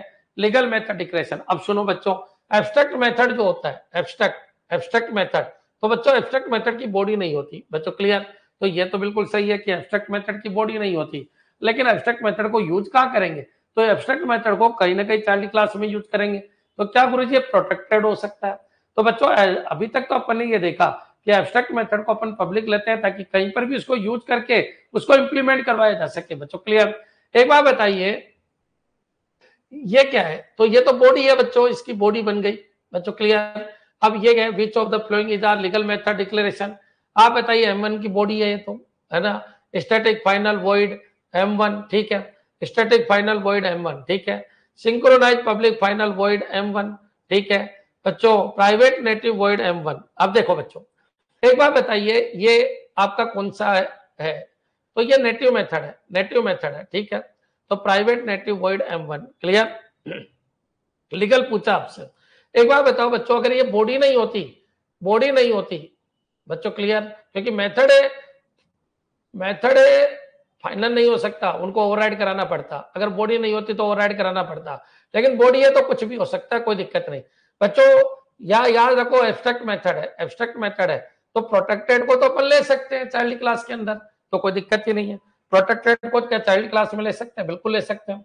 अगर ये एब्स्ट्रैक्ट प्राइवेट हो जाता तो फिर बच्चों, एक बार बताइए, इसकी बॉडी नहीं है तो इसका यूज़ नहीं होता, फिर गड़बड़ हो जाती। तो प्रोटेक्टेड चल जाएगा पब्लिक चल जाएगा डिफ़ॉल्ट भी चल जाएगा सेम पैकेज के अंदर कोई दिक्कत नहीं।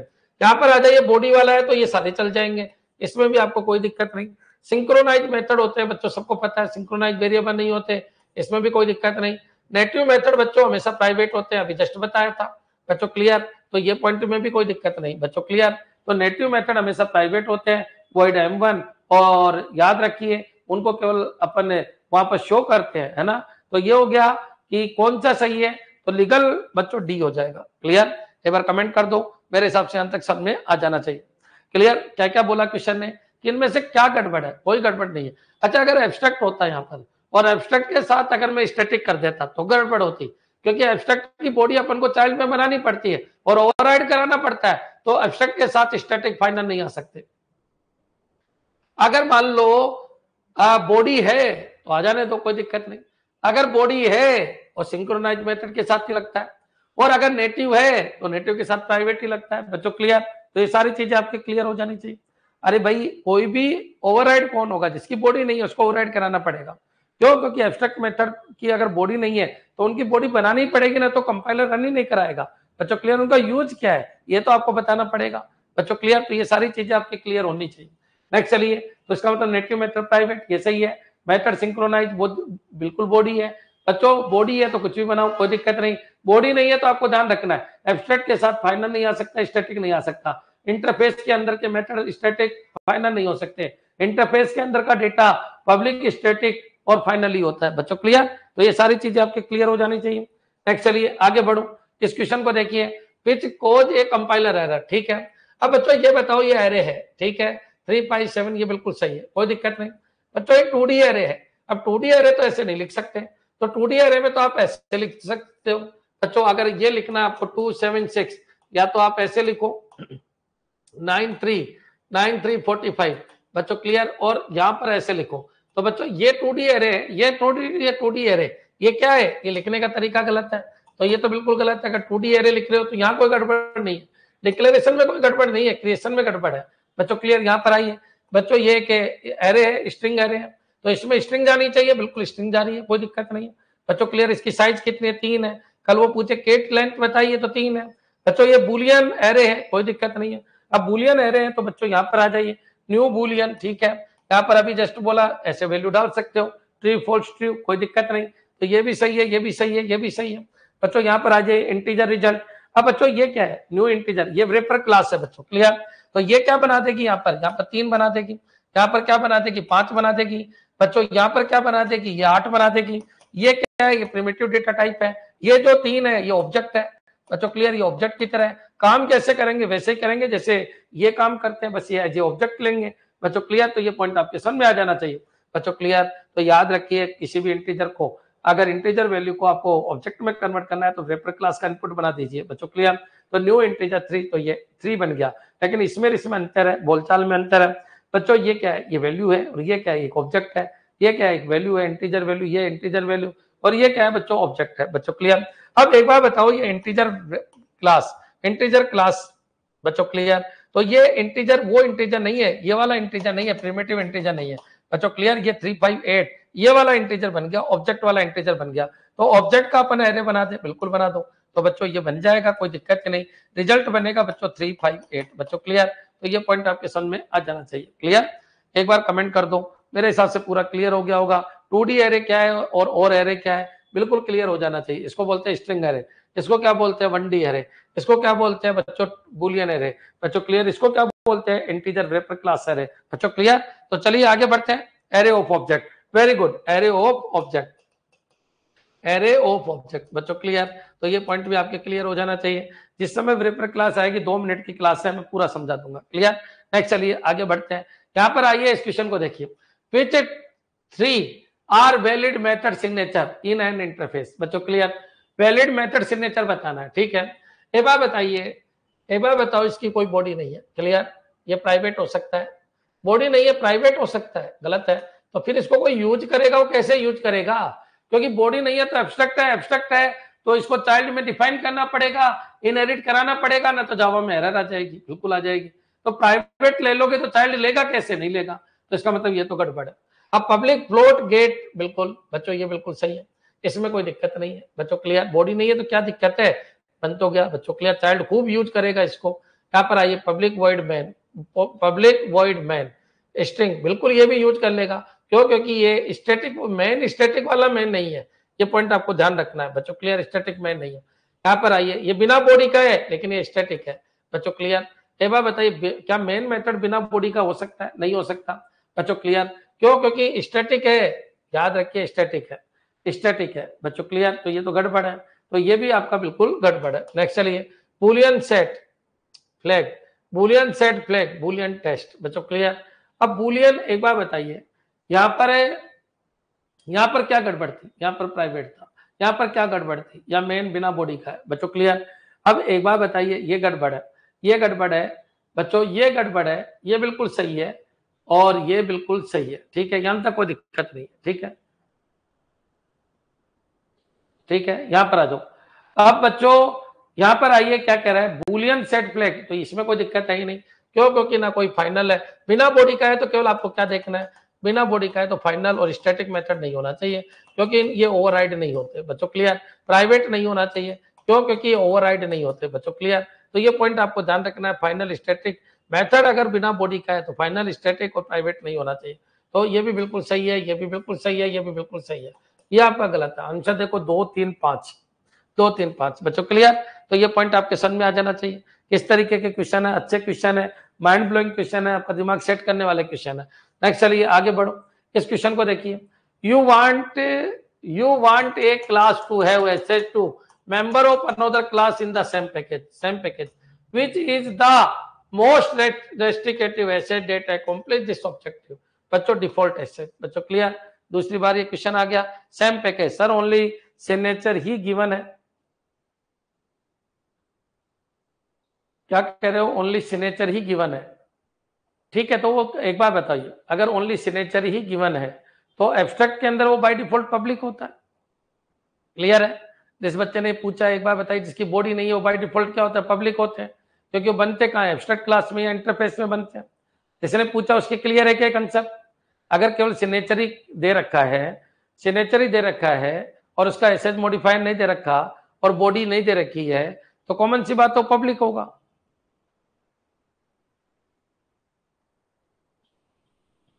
हाँ पब्लिक प्रोटेक्टेड और डिफ़ॉल्ट ये तीनों चल जाएँगे।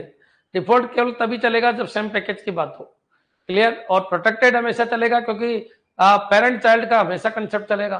तो बच्चों प्रोटेक्टेड और पब्लिक हमेशा चलेगा डिफ़ॉल्ट एक केस के अकॉर्डिंग चलेगा। क्लियर समझ में आ गया? जब भी अपन ओवर कराएँगे तो डिफ़ॉल्ट हमेशा केस के अकॉर्डिंग चलेगा। ये पॉइंट आपको ध्यान रखना है। लेकिन पब्लिक को प्रोटेक्टेड हमेशा चल जाएगा। क्लियर और ओवर का क्वेश्चन आने तो पूरा पोस्टमार्टम कर देंगे। क्लियर है? नेक्स्ट चलिए, जितना पढ़ाता जा रहा उतना तो क्लियर करते चलो। यहाँ पर आइए इस क्वेश्चन को देखिए। What is the widest valid return type for the method in line three ठीक है? बच्चों, वो ये कह रहे हैं कि हाईएस्ट रिटर्न टाइप क्या होगा? इससे, इसका हाईएस्ट रिटर्न टाइप क्या होगा? ठीक है? यहाँ पर आ जाइए, इसका हाईएस्ट रिटर्न टाइप क्या होगा? देख लेते हैं। बच्चों एक्स क्या है? बाइट के रूप में वाई क्या है? डबल के रूप में, ठीक है? अब बच्चों, एक बार बताइए, यहाँ का रिटर्न टाइप हाईएस्ट क्या होगा? अब बच्चों एक्स तो क्या बन गया? लॉन्ग बन गया। एक तो आपका लॉन्ग डेटा बन गया, एक आपका, बच्चों डबल डेटा बन गया डबल डेटा बन गया, और एक आपका, बच्चों, आपका टू बन गया क्लियर तो एक तो लॉन्ग डेटा बन गया बाइट से लॉन्ग में कन्वर्ट हो चुका एक लॉन्ग एक डबल एक टू तो आंसर डबल में आएगा बच्चों। तो आंसर किसमें आ जाएगा? डबल क्लियर तो ये पॉइंट भी आपके क्लियर हो जाना चाहिए। मैंने आपको बताया कि आंसर हमेशा बड़े डेटा के रूप में आता है। क्लियर है बच्चों? सुपर क्लास के रूप में आंसर आता है। ये पॉइंट हमेशा ध्यान रखिए। क्लियर नेक्स्ट चलिए। एक लॉन्ग एक डबल एक टू एक कैलकुलेशन करके मत देखिए। उसने बोला कि हाईएस्ट रिटर्न टाइप क्या होगा? यहाँ से रिटर्न टाइप क्या होगा? तो हाईएस्ट रिटर्न टाइप बच्चों डबल होगा। क्लियर नहीं हुआ क्लियर ठीक है। नहीं हुआ क्लियर तो एक बार बताओ लॉन्ग किसमें कन्वर्ट हो जाता है? तो लॉन्ग बच्चों, आप सबको पता है फ्लोट फ्लोट किसमें कन्वर्ट हो जाता है? फ्लोट डबल में कन्वर्ट हो जाता है। अगर ये मेरे स्टूडेंट हो तो आपको ये दिक्कत आनी ही नहीं चाहिए। क्यों? क्योंकि मैंने डेटा टाइप भयंकर तरीके से पढ़ाया। सृष्टि का प्रत्येक क्वेश्चन करवा रखा आपको। एक बार बताइए, अगर ये लॉन्ग है एक्स आपका लॉन्ग है वाई आपका डबल है, और बच्चों टू आपका इंटीजर है तो टू आपका इंटीजर है, ये बाई डिफ़ॉल्ट चल रहा है तो लॉन्ग डबल और ये क्या इंटीजर है? तो इनमें सबसे बड़ा कौन है? डबल है। तो देखा जाए तो रिटर्न टाइप सबसे बड़ा क्या होगा? डबल होगा। और अगर नहीं आया तो बच्चों, इसको पढ़ना पड़ेगा। आपको मैंने पढ़ा रखा है। क्लियर लवली शायद लगते हो आप मेरे ऑफलाइन ऑनलाइन वाली क्लास के स्टूडेंट नहीं हो। थ्योरी वाली क्लास के स्टूडेंट नहीं हो। बाकी तो क्लियर क्लियर क्लियर ही आ रहा है जब से पढ़ा रहा हूँ।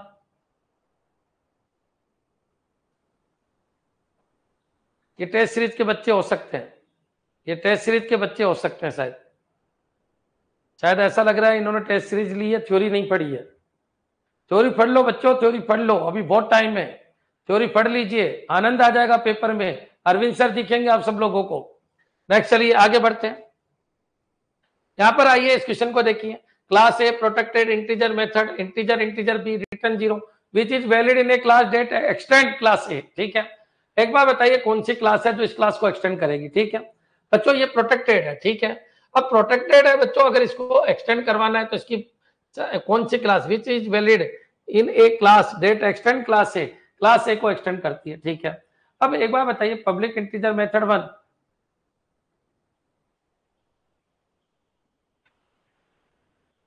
ठीक है? वो क्या बोल रहा है? बच्चों, पता चल गया। ये प्रोटेक्टेड है और इसको, जो क्लास इसको एक्सटेंड करेगी, उसका मेथड बताना which is valid in a class that extend class है बच्चों, इन मतलब मान लो कोई क्लास बी इसको एक्सटेंड कर रही है। क्लास बी इसको एक्सटेंड कर रही है। उसके अंदर कौन सा मेथड आएगा? तो क्लास बी एक्सटेंड बच्चों क्लियर ए बच्चों क्लियर तो उसके अंदर कौन सा मेथड आएगा? इनमें से। एक बार बताओ, बच्चों, अगर प्रोटेक्टेड है तो इससे लेस रेस्ट्रिकेटिव होना चाहिए। बच्चों क्लियर लेस रेस्ट्रिकेटिव होना चाहिए। तो प्रोटेक्टेड है तो प्रोटेक्टेड चलेगा और पब्लिक चलेगा। बच्चों क्लियर पब्लिक चलेगा प्राइवेट नहीं चलेगा पब्लिक चलेगा स्टेटिक प्रोटेक्टेड बच्चों क्लियर चले। एक चीज़ तो ये ध्यान रखिए, अगर ये मेथड प्रोटेक्टेड है तो यहाँ पर प्रोटेक्टेड या पब्लिक चलेगा। फिर इंटीजर है मेथड वन है, ठीक है। अब बच्चों, एक बार बताइए, जब मैं इसको इनहेरिट करवा रहा हूँ, जब मैं इसको इनहेरिट करा रहा हूँ सेम मेथड है सेम मेथड है सेम सिग्नेचर है। ठीक है integer A integer B return zero first तो सही है। अच्छा इसमें क्या गड़बड़ है? ये तो एसेज मॉडिफायर आपका हायर रेस्ट्रिकेटेड हो गया, ये तो गलत है। लेस रेस्ट्रिकेटेड होना चाहिए। बच्चों, ये इंटीजर है। बच्चों, यह इंटीजर है। मेथड वन है, ठीक है। बच्चों इंटीजर ए इंटीजर बी तो ये तो गड़बड़ है इसकी वजह से, ठीक है। पब्लिक शॉर्ट शॉर्ट अब बच्चों, याद रखना डेटा टाइप डेटा टाइप या तो सेम होना चाहिए, या हायर होना चाहिए। बच्चों क्लियर ये पॉइंट याद रखना। चाइल्ड का डेटा टाइप या तो सेम या हायर तो शॉर्ट तो बच्चों, इसकी वजह से गड़बड़ है। बच्चों क्लियर इसकी वजह से गड़बड़ है। क्लियर अब चलिए यहाँ पर आ जाइए स्टेटिक स्टेटिक प्रोटेक्टेड इंटीजर अब बच्चों, यहाँ अगर स्टेटिक है तो यहाँ स्टेटिक होना चाहिए। और स्टेटिक अगर है तो बच्चों स्टेटिक तो ले ही नहीं सकते, क्योंकि स्टेटिक के मेथड जो होते हैं, उनको ओवरराइड नहीं किया जा सकता। बच्चों क्लियर तो स्टेटिक इन चीज़ों में पार्टिसिपेट ही नहीं करता। चाइल्ड में स्टेटिक कहाँ से आ जाएगा? ये इसलिए गलत है। तो आंसर क्या हो जाएगा? ए क्या ये क्लियर है बच्चों? क्यों? किस लिए गड़बड़ हुआ? वह सुन लो। एसेट मॉडिफाई लेस रेस्ट्रिकेटिव होना चाहिए। ओपन विचारों का होना चाहिए। बच्चों प्रोटेक्टेड है तो प्रोटेक्टेड चल जाएगा पब्लिक चल जाएगा। चाइल्ड के अंदर। और रिटर्न टाइप हमेशा बड़ा या बराबर होना चाहिए। तो इंटीजर से बड़ा इंटीजर होता है। बच्चों लॉन्ग होता है फ्लोट होता है डबल होता है। बच्चों क्लियर तो ये पॉइंट याद रखना। वो चलेगा शॉर्ट नहीं चलेगा। और बच्चों यहाँ स्टेटिक आई नहीं तो यहाँ स्टेटिक क्यों आएगा? और दूसरी बात है स्टेटिक को अगर ओवरराइड किया ही नहीं जा सकता तो स्टेटिक लिख कैसे दोगे। तो बच्चों, याद रखना, अगर ओवरराइड का कंसेप्ट चल रहा है तो स्टेटिक लिखा ही नहीं जा सकता। क्लियर ये पॉइंट भी आपके समझ में आ गया होगा। एक बार कमेंट कर दो सब कि हाँ सर, बिल्कुल क्लियर है। कोई दिक्कत नहीं, सारे कंसेप्ट हमारे क्लियर हो रहे हैं। क्लियर नेक्स्ट चलिए, आगे बढ़ते हैं। इसको देखिए। Which one create an instance of an array ठीक है? तो बच्चों, ये एरे बिल्कुल सही है। बच्चों क्लियर फ्लोट एफ़ ए यहाँ पर एरे नहीं लगाया आपने। एरे का सिंबल नहीं लगाया। यहाँ पर बच्चों, यहाँ पर आपने स्ट्रिंग है ये। स्ट्रिंग नहीं लगाई। ये गड़बड़ है, यहाँ पर स्ट्रिंग लगनी चाहिए थी।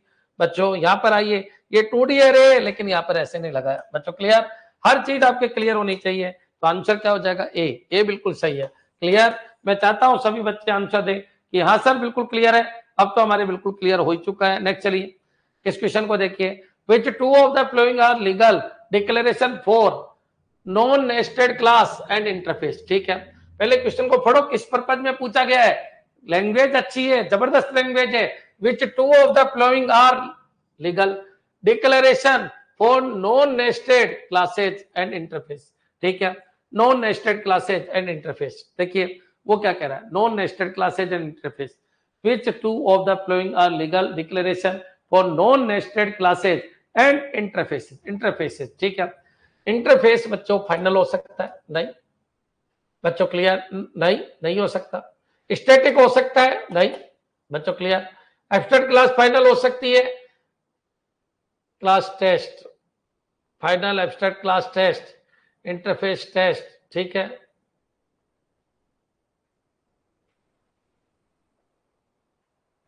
देखो बच्चों, एक चीज़ मैं आपको क्लियर कर देता हूँ। कोई भी क्लास है उसको अगर आप इनहेरिट करते हो इनहेरिट करते हो तो याद रखना फाइनल कभी भी इनहेरिट नहीं होता। एक चीज़ को ये याद रखना फाइनल क्लास को कभी भी आ, अपन इनहेरिट कर ही नहीं सकते। बच्चों क्लियर नेक्स्ट चलिए। फाइनल क्लास को अभी कभी भी इनहेरिट नहीं कर सकते। ठीक है? Which of which two of the following are legal declaration for non nested classes and interface ठीक है? Abstract public class test abstract public class test ठीक है? तो इसमें तो कोई दिक्कत नहीं लग रही मेरे को। एब्स्ट्रैक्ट पब्लिक क्लास टेस्ट ठीक है? ये तो बिल्कुल सही है। ठीक है? प्रोटेक्टेड इंटरफेस टेस्ट अब बच्चों, अगर प्रोटेक्टेड कर दे अपन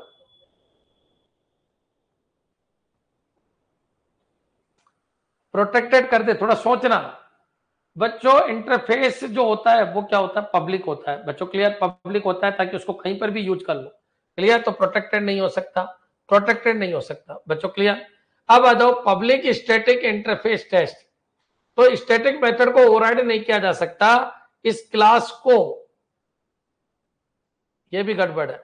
यह भी गड़बड़ है। एक, दो, तीन, चार, पाँच गड़बड़ हो रहे हैं। छह है क्या किसी में? है। अब बच्चों, छह के साथ देखो, तीन और चार को देखो। कुछ गड़बड़ हुई है। फाइनल पब्लिक क्लास टेस्ट तो फाइनल फाइनल क्लास को नहीं कर सकते, ये तो गड़बड़ प्रोटेक्ट एब्स्ट्रैक्ट क्लास टेस्ट और इंटरफेस इंटरफेस के साथ प्रोटेक्टेड नहीं लग सकता। इंटरफेस हमेशा पब्लिक होता है, लेकिन एब्स्ट्रैक्ट क्लास के साथ प्रोटेक्टेड लग सकता है। बच्चों क्लियर तो ये आपका आंसर बनेगा चार और छह। बच्चों क्लियर ये आपका आंसर बनेगा। क्या ये क्लियर है बच्चों? फोर एंड सिक्स देखो एक minute. Abstract class can be protected very good abstract class protected हो सकती है, लेकिन इंटरफेस नहीं। या एब्स्ट्रैक्ट का ध्यान रखना, बच्चों क्लियर तो देखिए, अब सुनो एक एक चीज़।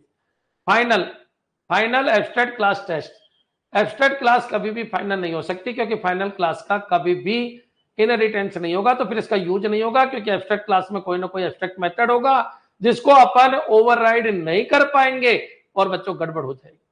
ठीक है? ये क्यों गड़बड़ हुआ? स्टैटिक इंटरफेस टेस्ट ये क्यों गड़बड़ हुआ? तो public static interface test interface static नहीं होते। बच्चों क्लियर इसलिए गड़बड़ हुआ क्योंकि इंटरफेस स्टैटिक नहीं होते। बच्चों क्लियर नेक्स्ट चलिए।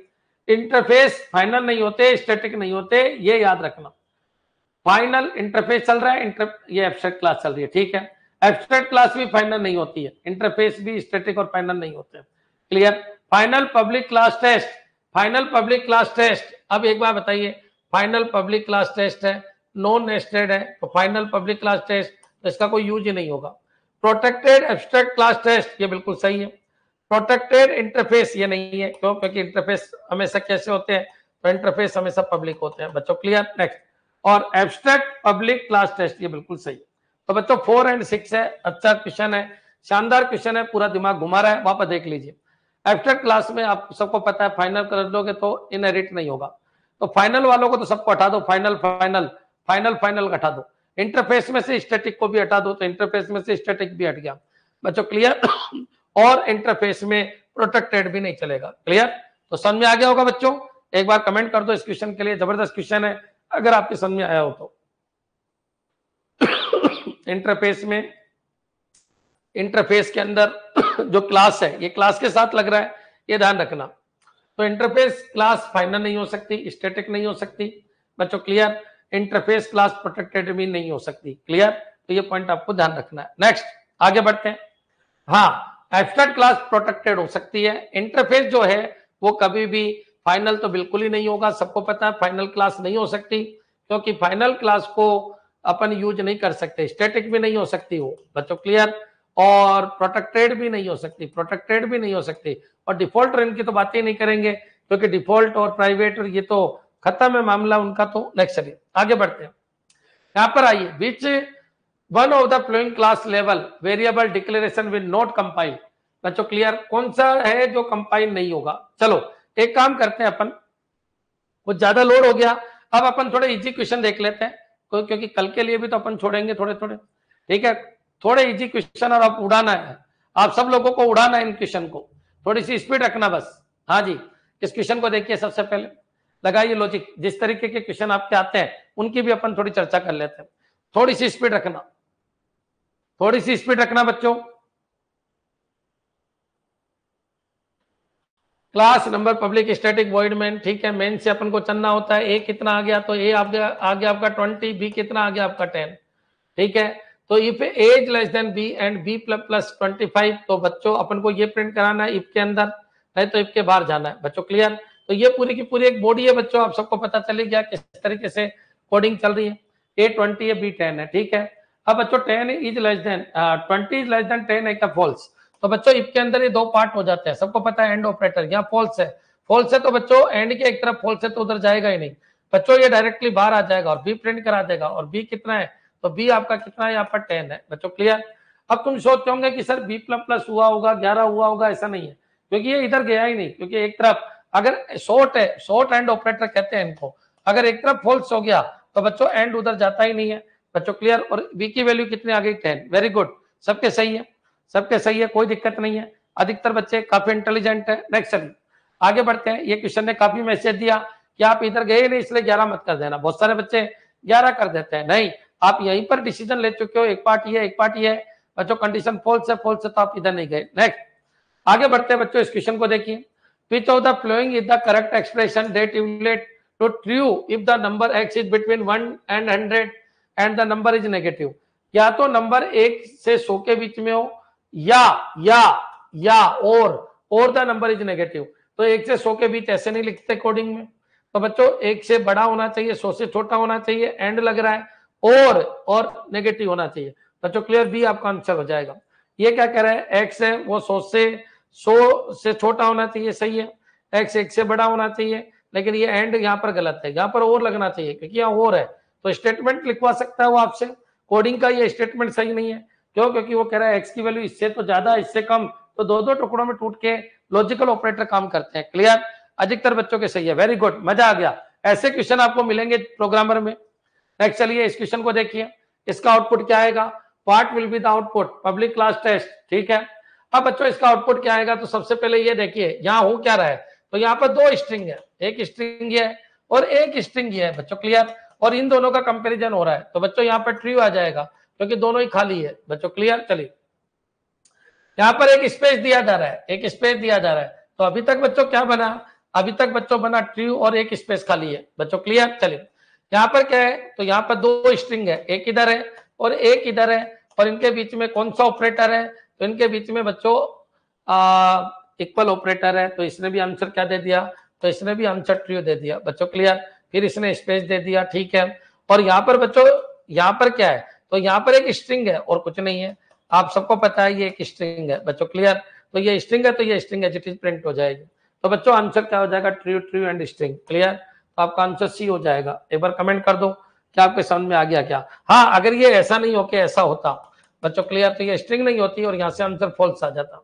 बच्चों क्लियर ये स्ट्रिंग है स्ट्रिंग बराबर स्ट्रिंग है ट्रू आएगा स्ट्रिंग बराबर स्ट्रिंग है ट्रू आएगा। बच्चों क्लियर समझने की कोशिश करो पैटर्न को समझो। पैटर्न क्या कह रहा है? एक बार क्लियर कर दीजिए कि हाँ सर बिल्कुल क्लियर है, ऐसे क्वेश्चन आएँगे। अधिकतर क्वेश्चन ऐसे ही आते हैं, कभी भी कॉम्पिटिशन देते हो। एक एग्ज़ाम वेदा नाम की वेबसाइट है, उसको ज़रूर करके जाइएगा। वहाँ से आपके प्रोग्रामर में अधिकतर क्वेश्चन आने वाले हैं। वहाँ से हमेशा अधिकतर क्वेश्चन आने वाले हैं। क्लियर है? याद रखिए format oriented basic question zero level question उस वेबसाइट के अंदर अच्छे मिलेंगे आपको। क्लियर नेक्स्ट चलिए, आगे बढ़ते हैं। यहाँ पर आइए, इस क्वेश्चन को देखिए। क्वेश्चन क्या कह रहा है? या एम ए फोर्टी टू चला गया? बिल्कुल एम ए फोर्टी टू चला गया। बच्चों बी के अंदर कितना चला गया? तो ये डबल वैल्यू चले गई। बिल्कुल चले गई, यहाँ कोई एरर नहीं है। क्यों नहीं है? इंटीजर वैल्यू डबल वैल्यू चले गई। यहाँ पर बताइए ये कौन सा ऑपरेशन है? तो ये मोड है। मोड है बच्चों, यहाँ से दो आएगा। बच्चों क्लियर दो प्लस स्ट्रिंग बच्चों क्लियर पहले ये सोल होता है, क्योंकि इनकी प्रेसिडेंसी हाई है। यहाँ पर कितना आएगा बच्चों? डबल मोड टू तो टू पॉइंट टू फाइव और छह डिजिट के अंदर ये वैल्यू आती है। बच्चों क्लियर चलिए। अब बच्चों होगा क्या? अपन को प्रिंट कराना है। प्रिंट कराना है तो क्या हो जाएगा? पहले ये स्ट्रिंग जुड़ेगी तो टू स्पेस और टू पॉइंट टू फाइव ये आपका आंसर आ जाएगा। तो two space two point two five clear मेरे हिसाब से सभी बच्चों के क्लियर हो गया होगा। Two point two five clear ए तो नहीं आएगा बाबू ए तो नहीं आएगा। बच्चों आंसर क्या आएगा? बी आएगा। क्यों? क्योंकि आपने इसका रिमाइंडर निकाला है। बच्चों क्लियर तो ये पॉइंट भी आपके समझ में आ जाना चाहिए। क्योंकि 42.25 को किससे डिवाइड करो? 10 से। 40 आ गया बच्चा कितना 2.25 क्योंकि इसको रिमाइंडर कहते हैं। क्लियर ये सब कुछ मैं पढ़ा चुका हूँ। हाँ जी बच्चों क्लियर है सबके? चलिए, कितना समझ में आ रहा है एक बार कमेंट कर दो। दो ढाई घंटे हो गए पढ़ाते पढ़ाते तो अब ये बता दो, कितना समझ में आ रहा है? स्ट्रिंग जब भी प्लस के साथ जुड़ती है तो कॉन्केट का मतलब होता है। क्लियर? वो कॉन्केट का मतलब होता है। क्लियर?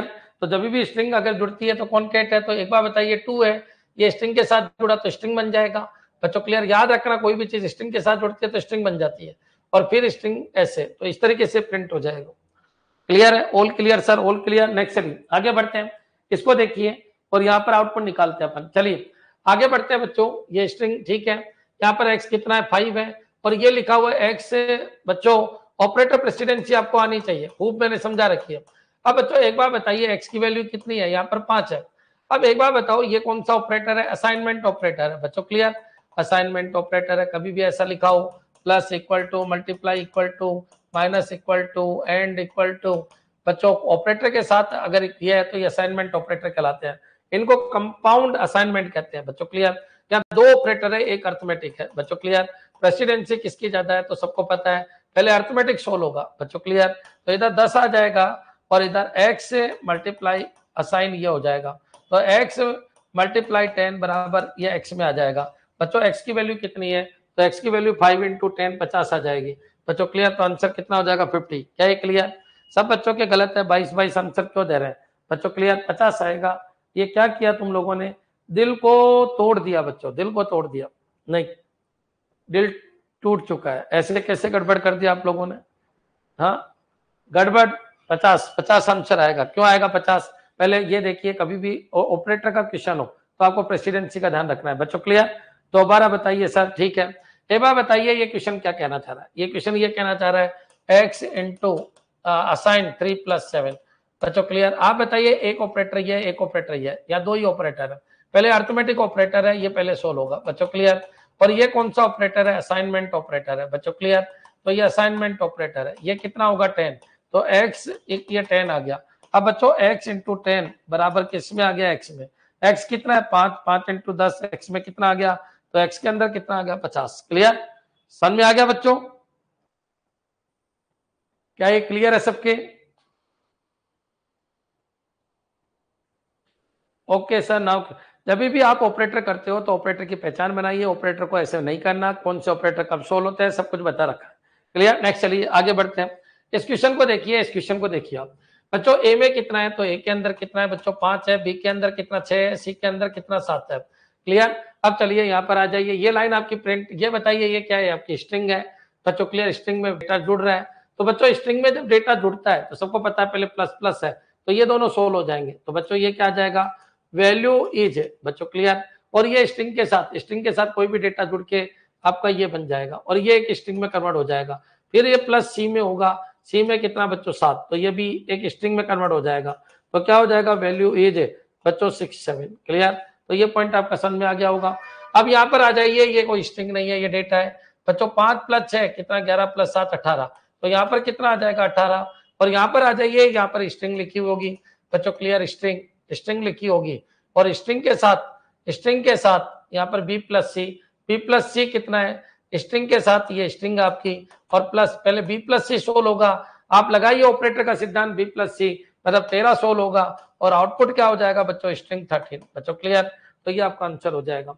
तो value is sixty seven and eighteen और स्ट्रिंग थर्टीन क्लियर तो इसका आंसर ए आ जाएगा। क्लियर है बच्चों? सबके समझ में आ गया होगा किस तरीके से अपन को ध्यान रखना है कब स्ट्रिंग है कब डेटा है कब क्या है तो इस तरीके से आपको आंसर देना है। नेक्स्ट आगे बढ़िए इस क्वेश्चन को देखिए। यहाँ पर आइए आई कितना है? तो आई कितना बच्चों? फाइव है। आई फाइव है ठीक है कोई दिक्कत नहीं। यहाँ पर आइए आई आई प्लस प्लस तो पहले आई प्रिंट होगा बच्चों सबको पढ़ा रखा है। फिर नीचे जाने से पहले प्लस प्लस हो जाएगा। क्यों? तो, क्योंकि पोस्टपिक सबसे पहले होता है। ये आपके क्लियर हो जाना चाहिए। तो यहाँ से कूदते पोस्टपिक से ये कितना हो जाएगा? सिक्स हो जाएगा। अब बच्चों सिक्स हो गया। स्टेटिक है तो स्टेटिक की कोई दिक्कत है ही नहीं बच्चों। स्टेटिक का इनिशियलाइजेशन केवल एक बार होता है, क्योंकि वो क्लास से रिलेटेड होता है। तो ये पॉइंट आपके दिमाग में आ जाना चाहिए। तो ये स्टेटिक कितना हो गया बच्चों? आई फाइव हो गया। स्टेटिक है आई कितना है बच्चों? फाइव है, ठीक है? तो पाँच हो गया बच्चों, कोई दिक्कत नहीं। पाँच का क्या हो गया? छह हो गया। तो ठीक है, ये छह हो गया। फिर प्लस फाइनल होता तो बच्चों एरर आ जाती, क्योंकि फाइनल को बदल नहीं सकते फाइनल एज ए कॉन्स्टेंट काम करता है। बच्चों क्लियर तो पाँच हो गया, पाँच की जगह छह हो गया, छह की जगह सात हो गया, यहाँ पर सात हो गया। और यहाँ पर बच्चों, फिर वापस पाँच, छह हो गया। बच्चों क्लियर पहले पाँच प्रिंट हुआ, फिर छह प्रिंट हुआ, फिर सात हो गया। बच्चों क्लियर आई में सात है। अब सात प्लस सात। बच्चों क्लियर सॉरी क्लियर अब इस स्टेटमेंट को देखिए। वापस देख लीजिए, एक बार सारे बच्चे वापस देख लीजिए, क्या किया, क्या नहीं किया। बच्चों, एक बार बताइए आई कितना था यहाँ पर? तो आई यहाँ पर कितना था? पाँच था। बच्चों क्लियर आई कितना था? तो आई यहाँ पर पाँच था। अब बच्चों आई अगर पाँच है तो यहाँ पर पाँच प्रिंट हो गया यहाँ पर छह हो गया। क्लियर यहाँ तक कोई दिक्कत नहीं। यहाँ पर आई कितना? छह हो गया। अब बच्चों यहाँ पहले बढ़ेगा तो कितना? सात हो गया, फिर आई सात हो गया। अब बच्चों यहाँ पर पहले, देखिए जावा ऐसे चलती है, ध्यान रखना। जावा ऐसे चलती है सी में कैसे भी चल सकते हैं स्टेटमेंट अलग अलग कंपाइलर के हिसाब से, लेकिन जावा में ऐसे चलता है। बच्चों आई में यहाँ तक सात हो गया था। अब सात में पहले बढ़ेगा। कितना होगा बच्चों? आठ होगा। बच्चों क्लियर आई में यहाँ पर आठ लगा दिया, फिर आठ टाइप होगा। बच्चों क्लियर समझ में आ जाना चाहिए, आठ टाइप होगा। आठ प्लस आठ कितना होगा? सोलह। बच्चों क्लियर तो यहाँ पर प्रिंट क्या होगा? सोलह। अब जैसे ही नीचे जाएगा, आठ की जगह क्या हो जाएगा? नो। तो पाँच, छह, सात, सोलह। बच्चों क्लियर तो पाँच, छह, सात, सोलह सी आपका आंसर हो जाएगा। क्या ये क्लियर है बच्चों? एक बार इस क्वेश्चन के लिए कमेंट कर दो कि आंसर बिल्कुल क्लियर है, कोई दिक्कत नहीं। ऐसे तो आपने बहुत भयंकर प्रोग्रामिंग हमको करवा रखी है। क्लियर बस वो इधर इधर हो गई। उन सबको आप बस एक जगह ले आइए। आज बच्चों जैसे तीन ढाई घंटे क्लास ली है, वैसे ही रोज ढाई ढाई तीन तीन घंटे लेके पाँच दिन में आपकी जावा पूरी फिनिश कर देंगे, जितना भी सृष्टि में बने। नेक्स्ट यहाँ पर आ जाइए। Part will be the output of the following Java code बच्चों क्लियर तो एक बार बताइए यहाँ पर कितना है? यहाँ पर वेट वन कितना है बच्चों? पाँच है। वेट टू कितना है? तो वेट टू बच्चों छह है। वेट थ्री कितना है? तो ये लीजिए वेट थ्री का भी पता नहीं है। बच्चों क्लियर अब बच्चों, ये क्या है? तो ये वापस ऑपरेटर आ गए। तो ऑपरेटर थोड़ी सावधानी रखिए बच्चों क्लियर ये कौन सा ऑपरेटर है? तो ये इंक्रीमेंट ऑपरेटर है। ये कौन सा ऑपरेटर है? तो गुणा वाला ऑपरेटर है। ये कौन सा है? बच्चों डिवाइड वाला ऑपरेटर है। हाई प्रेसिडेंसी किसकी है? सबसे पहले यही सोल होगा। तो बच्चों, एक बार बताइए, ये कितना होगा? Var plus plus var two बच्चों क्लियर क्योंकि है सबको पता है ये कौन सा ऑपरेटर है। तो इंक्रीमेंट ऑपरेटर है प्रीपिक्स ऑपरेटर है। पहले ये सोल होगा, फिर ये दोनों सोल होंगे। फिर वो सोल होंगे। बच्चों क्लियर तो वेर टू बच्चों सिक्स की जगह क्या हो गया? सात हो गया। अब बच्चों, ये हो गया सेवन और इंटू सेवन इंटू बच्चों clear seven into var one var one कितना है? तो वेर वन कितना है? बच्चों, पाँच है। बच्चों clear divide by var two कितना है? बच्चों, सात है। क्लियर और plus var two var two कितना है? बच्चों, सात है। अभी आपकी इक्वेशन ये बन गई। क्लियर नेक्स्ट चलिए अब बच्चों, क्या करना है? पहले ये करना है, पैंतीस होगा। पैंतीस डिवाइड बाई सात, पाँच होगा। और पाँच प्लस सात कितना होगा? बारह होगा। बच्चों क्लियर तो आप बताइए वेज थ्री में कितना आ जाएगा? बारह आ जाएगा। बच्चों क्लियर अब बारह आ गया तो यहाँ पर वेज थ्री प्रिंट करा दो, कितना? बारह। बच्चों क्लियर तो आंसर कितना आ जाएगा? ट्वेल्व क्लियर है बच्चों? तो ये पॉइंट भी आपके समझ में आ जाना चाहिए। नेक्स्ट चलिए, आगे बढ़ते हैं इस क्वेश्चन को देखिए। बच्चों एक्स ज़ीरो है एक्स ज़ीरो है, ठीक है? एक्स ज़ीरो है। Which of the following are legal line of Java code for changing the value of X to one बच्चों एक्स की जगह आपको वन लाना है। बच्चों क्लियर इस एक्स की जगह इसमें कन्वर्ट करना है। कौन कौन कर सकता है? अगर मैं एक्स प्लस प्लस इस कोड को एग्जीक्यूट कर लू तो भी आपको पता है एक्स ज़ीरो से बच्चों नीचे जाते जाते वन हो जाएगा। बच्चों क्लियर अगर मैं कॉमन सी बात है एक्स ज़ीरो है, और अगर मैं एक्स से कर दूँ, अगर मैं एसओपी कर दूँ और एक्स प्लस प्लस कर दूँ, बच्चों क्लियर तो आप बताइए एक्स में लास्ट में क्या मिलेगा? तो एक्स में तो ज़ीरो था। और बच्चों प्रिंट करने के बाद एक्स के अंदर क्या हो जाएगा? तो एक्स के अंदर वन प्रिंट की नहीं बोल रहा, वो कह रहा है एक्स के अंदर वन कौन कर सकता है? तो ये तो कर सकता है। क्या बच्चों X equivalent X plus one कर दूँ? तो बच्चों, सबको पता है एक्स ज़ीरो था।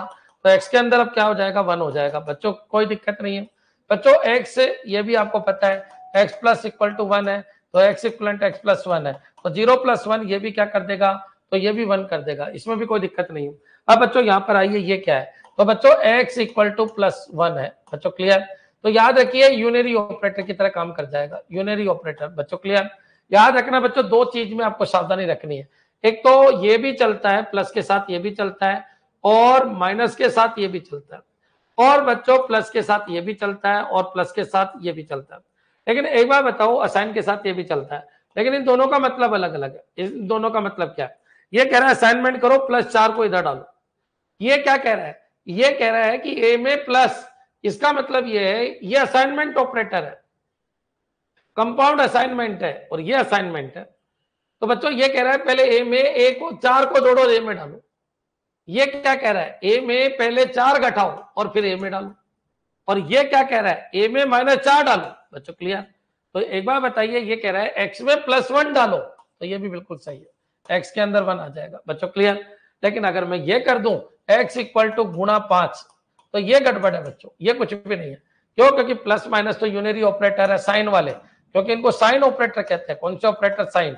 तो इतना सा कंपाइलर में दिमाग होता है कि वो इनको साइन की तरह ट्रीट करता है और ऐसा है तो असाइनमेंट की तरह ट्रीट करता है। तो एक बार कमेंट कर दो बच्चों। तो ये सारे ही सही है। ये सारे ही सही है। क्लियर ये समझ में आ गया बच्चों? ऑल आर करेक्ट याद रखिए प्लस और माइनस का थोड़ा ध्यान रखना है। सारे टेक्निकल क्वेश्चन में आपकी खोपड़ी में सेट करना चाह रहा हूँ ताकि कोई गड़बड़ आपसे नहीं हो। क्लियर नेक्स्ट चलिए। आगे बढ़ते हैं। इस क्वेश्चन को देखिए।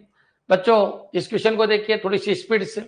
X two X two Y Y कितना बच्चों ज़ीरो क्लियर अब बच्चों, यहाँ पर को पता है ये लूप चल रहा है। अब लूप चल रहा है तो बच्चों, यहाँ पर आ जाइए कंडीशन ट्री है। बच्चों क्लियर ट्री है? अंदर आए तो ये इप की बॉडी ये एल सिप की बॉडी एल एल सिप भी मैंने पढ़ा रखा है, पहले ये चेक होगा, ये गलत है तो ये चेक होगा, ये गलत है तो डायरेक्ट यहाँ चला जाएगा। बच्चों क्लियर तो एल सिप का क्या कंसेप्ट है? ये मैंने आपको सब कुछ समझा रखा है। अगर इफ़ सही है तो एल सिप सारे खत्म कर दूँ। इफ़ और एल्स लास्ट रहते हैं, बीच के सारे एल सिप रहते हैं। तो ये सारे लॉजिक मैंने आपको बता रखा एक बच्चा ये कहे, सर, मैंने एक इफ़ देखा था, फिर मैंने इफ़ एल्स एल सिप देखा था एल सिप देखा था। बच्चों क्लियर और फिर कह दे कि, सर, मैंने एल्स देखा था तो ये तो सही बात है। और फिर ये कह दे कि, सर ठीक है, ये चीज़ सही है। इनमें से एक ही सही होता है बच्चों क्लियर इनमें से एक ही सही होता है। अगर मान लो यहाँ पर एल सी फिर देखा उसने तो ये भी सही है। लेकिन बच्चों, अब अगर उसने एल से नहीं देखा लास्ट में तो गड़बड़ है। क्यों? क्योंकि ये इफ़ इफ़ फिर एल सिप फिर एल सिप क्योंकि तीन इफ़ तो तीन एल्स भी होने चाहिए। तो फिर यहाँ पर एल्स देखना होगा। बच्चों क्लियर तो इस तरीके से पूरा चलता है। मेरे हिसाब से क्लियर हो गया। अब मान लो एक सही है तो इनको आप डायरेक्टली आँख बंद करके काट दो। ये खत्म ये खत्म ये खत्म। अगर मान लो ये खत्म है तो ये सही हो गया तो फिर इनको आँख बंद करके काट दो। बच्चों क्लियर क्यों? क्योंकि ये कंटिन्यूस चलते हैं। इफ़ फिर एल्स फिर एल्स समझ में आ गया? तो इफ़ एल्स इफ़ फिर एल्स तो इफ़ एल्स और एल्स इफ़ खत्म। अब चलिए। फोर की बॉडी यहाँ से अंत तक है। वाई ज़ीरो है zero is less than ten है, बिल्कुल ट्रू है। अंदर आ जाइए। वाई वाई कितना है? ज़ीरो मोड एक्स एक्स कितना है यहाँ पर टू बच्चों क्लियर मोड करेंगे तो ये ज़ीरो आ जाएगा। मोड मतलब रिमाइंडर ज़ीरो तो कंटिन्यू यहाँ पर पहुँचा देगा। वाई प्लस प्लस वन हो जाएगा। One is less than ten होगा। बच्चों वन मोड टू करेंगे। तो वन आएगा वन आएगा तो बच्चों, याद रखिए, ये तो गड़बड़ गड़बड़ है तो गड़बड़ है तो यहाँ आएगा। बच्चों एट भी नहीं है, गड़बड़ है तो यहाँ आ जाएगा। और बच्चों प्रिंट क्या करा देगा? वाई वन प्रिंट करा देगा। बच्चों क्लियर तो अब आपके समझ में आ गया होगा किस तरीके से ये चलना है। बच्चों क्लियर ये तो पूरा खत्म हो गया। ठीक है? अब बच्चों वन पहला आउटपुट आया। फिर बच्चों, ये यहाँ पर गया। अब की बार इसने टू कर दिया। टू आया तो बच्चों टू में वाई टू है। बच्चों क्लियर वाई टू है एक्स टू है। ज़ीरो कंटिन्यू हो जाएगा। फिर थ्री हो गया वाई थ्री हो जाएगा। वाई थ्री हो गया बच्चों वाई थ्री हो गया। एक्स आपका अभी भी टू ही चल रहा है। बच्चों क्लियर एक्स आपका अभी भी टू ही चल रहा है। अब टू चल रहा है तो आप बताइए, यहाँ पर आठ तो नहीं है, ये यहाँ पर जाएगा। यहाँ पर जाएगा तो बच्चों, क्या, कितना प्रिंट करा देगा? वाई प्रिंट कराएगा कितना थ्री तो one three one three clear तो ये वाला भी गड़बड़ हो गया। अब बच्चों, क्या चलेगा? इस तरीके से पूरा चलेगा।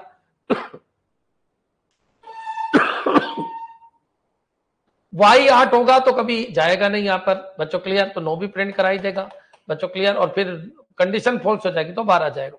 तो बच्चों क्लियर आंसर क्या आ जाएगा? One three five seven nine क्योंकि आर तो कभी बनेगा ही नहीं वो। और बनता तो ब्रेक होता।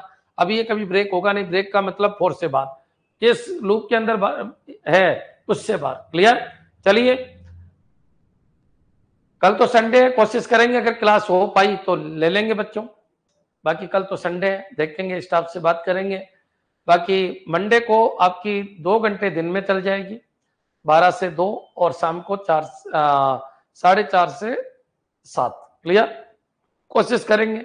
और आप क्वेश्चन करना स्टार्ट कर दो एग्ज़ाम वेदा के। एग्ज़ाम वेदा के, जावा के सारे क्वेश्चन कर जाना, मेरे को नहीं लगता कि उससे बाहर कोई क्वेश्चन आपका बनेगा।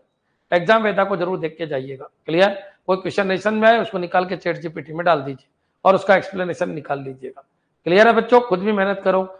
एक बंदे के ऊपर इतना डिपेंडेंट मत रहो, सब कुछ पढ़ा रखो आज जितना भी मैंने पढ़ा है सब कुछ मैंने पहले पढ़ा रखा है। आप खुद नोटिस करो। क्लियर चलिए, धन्यवाद।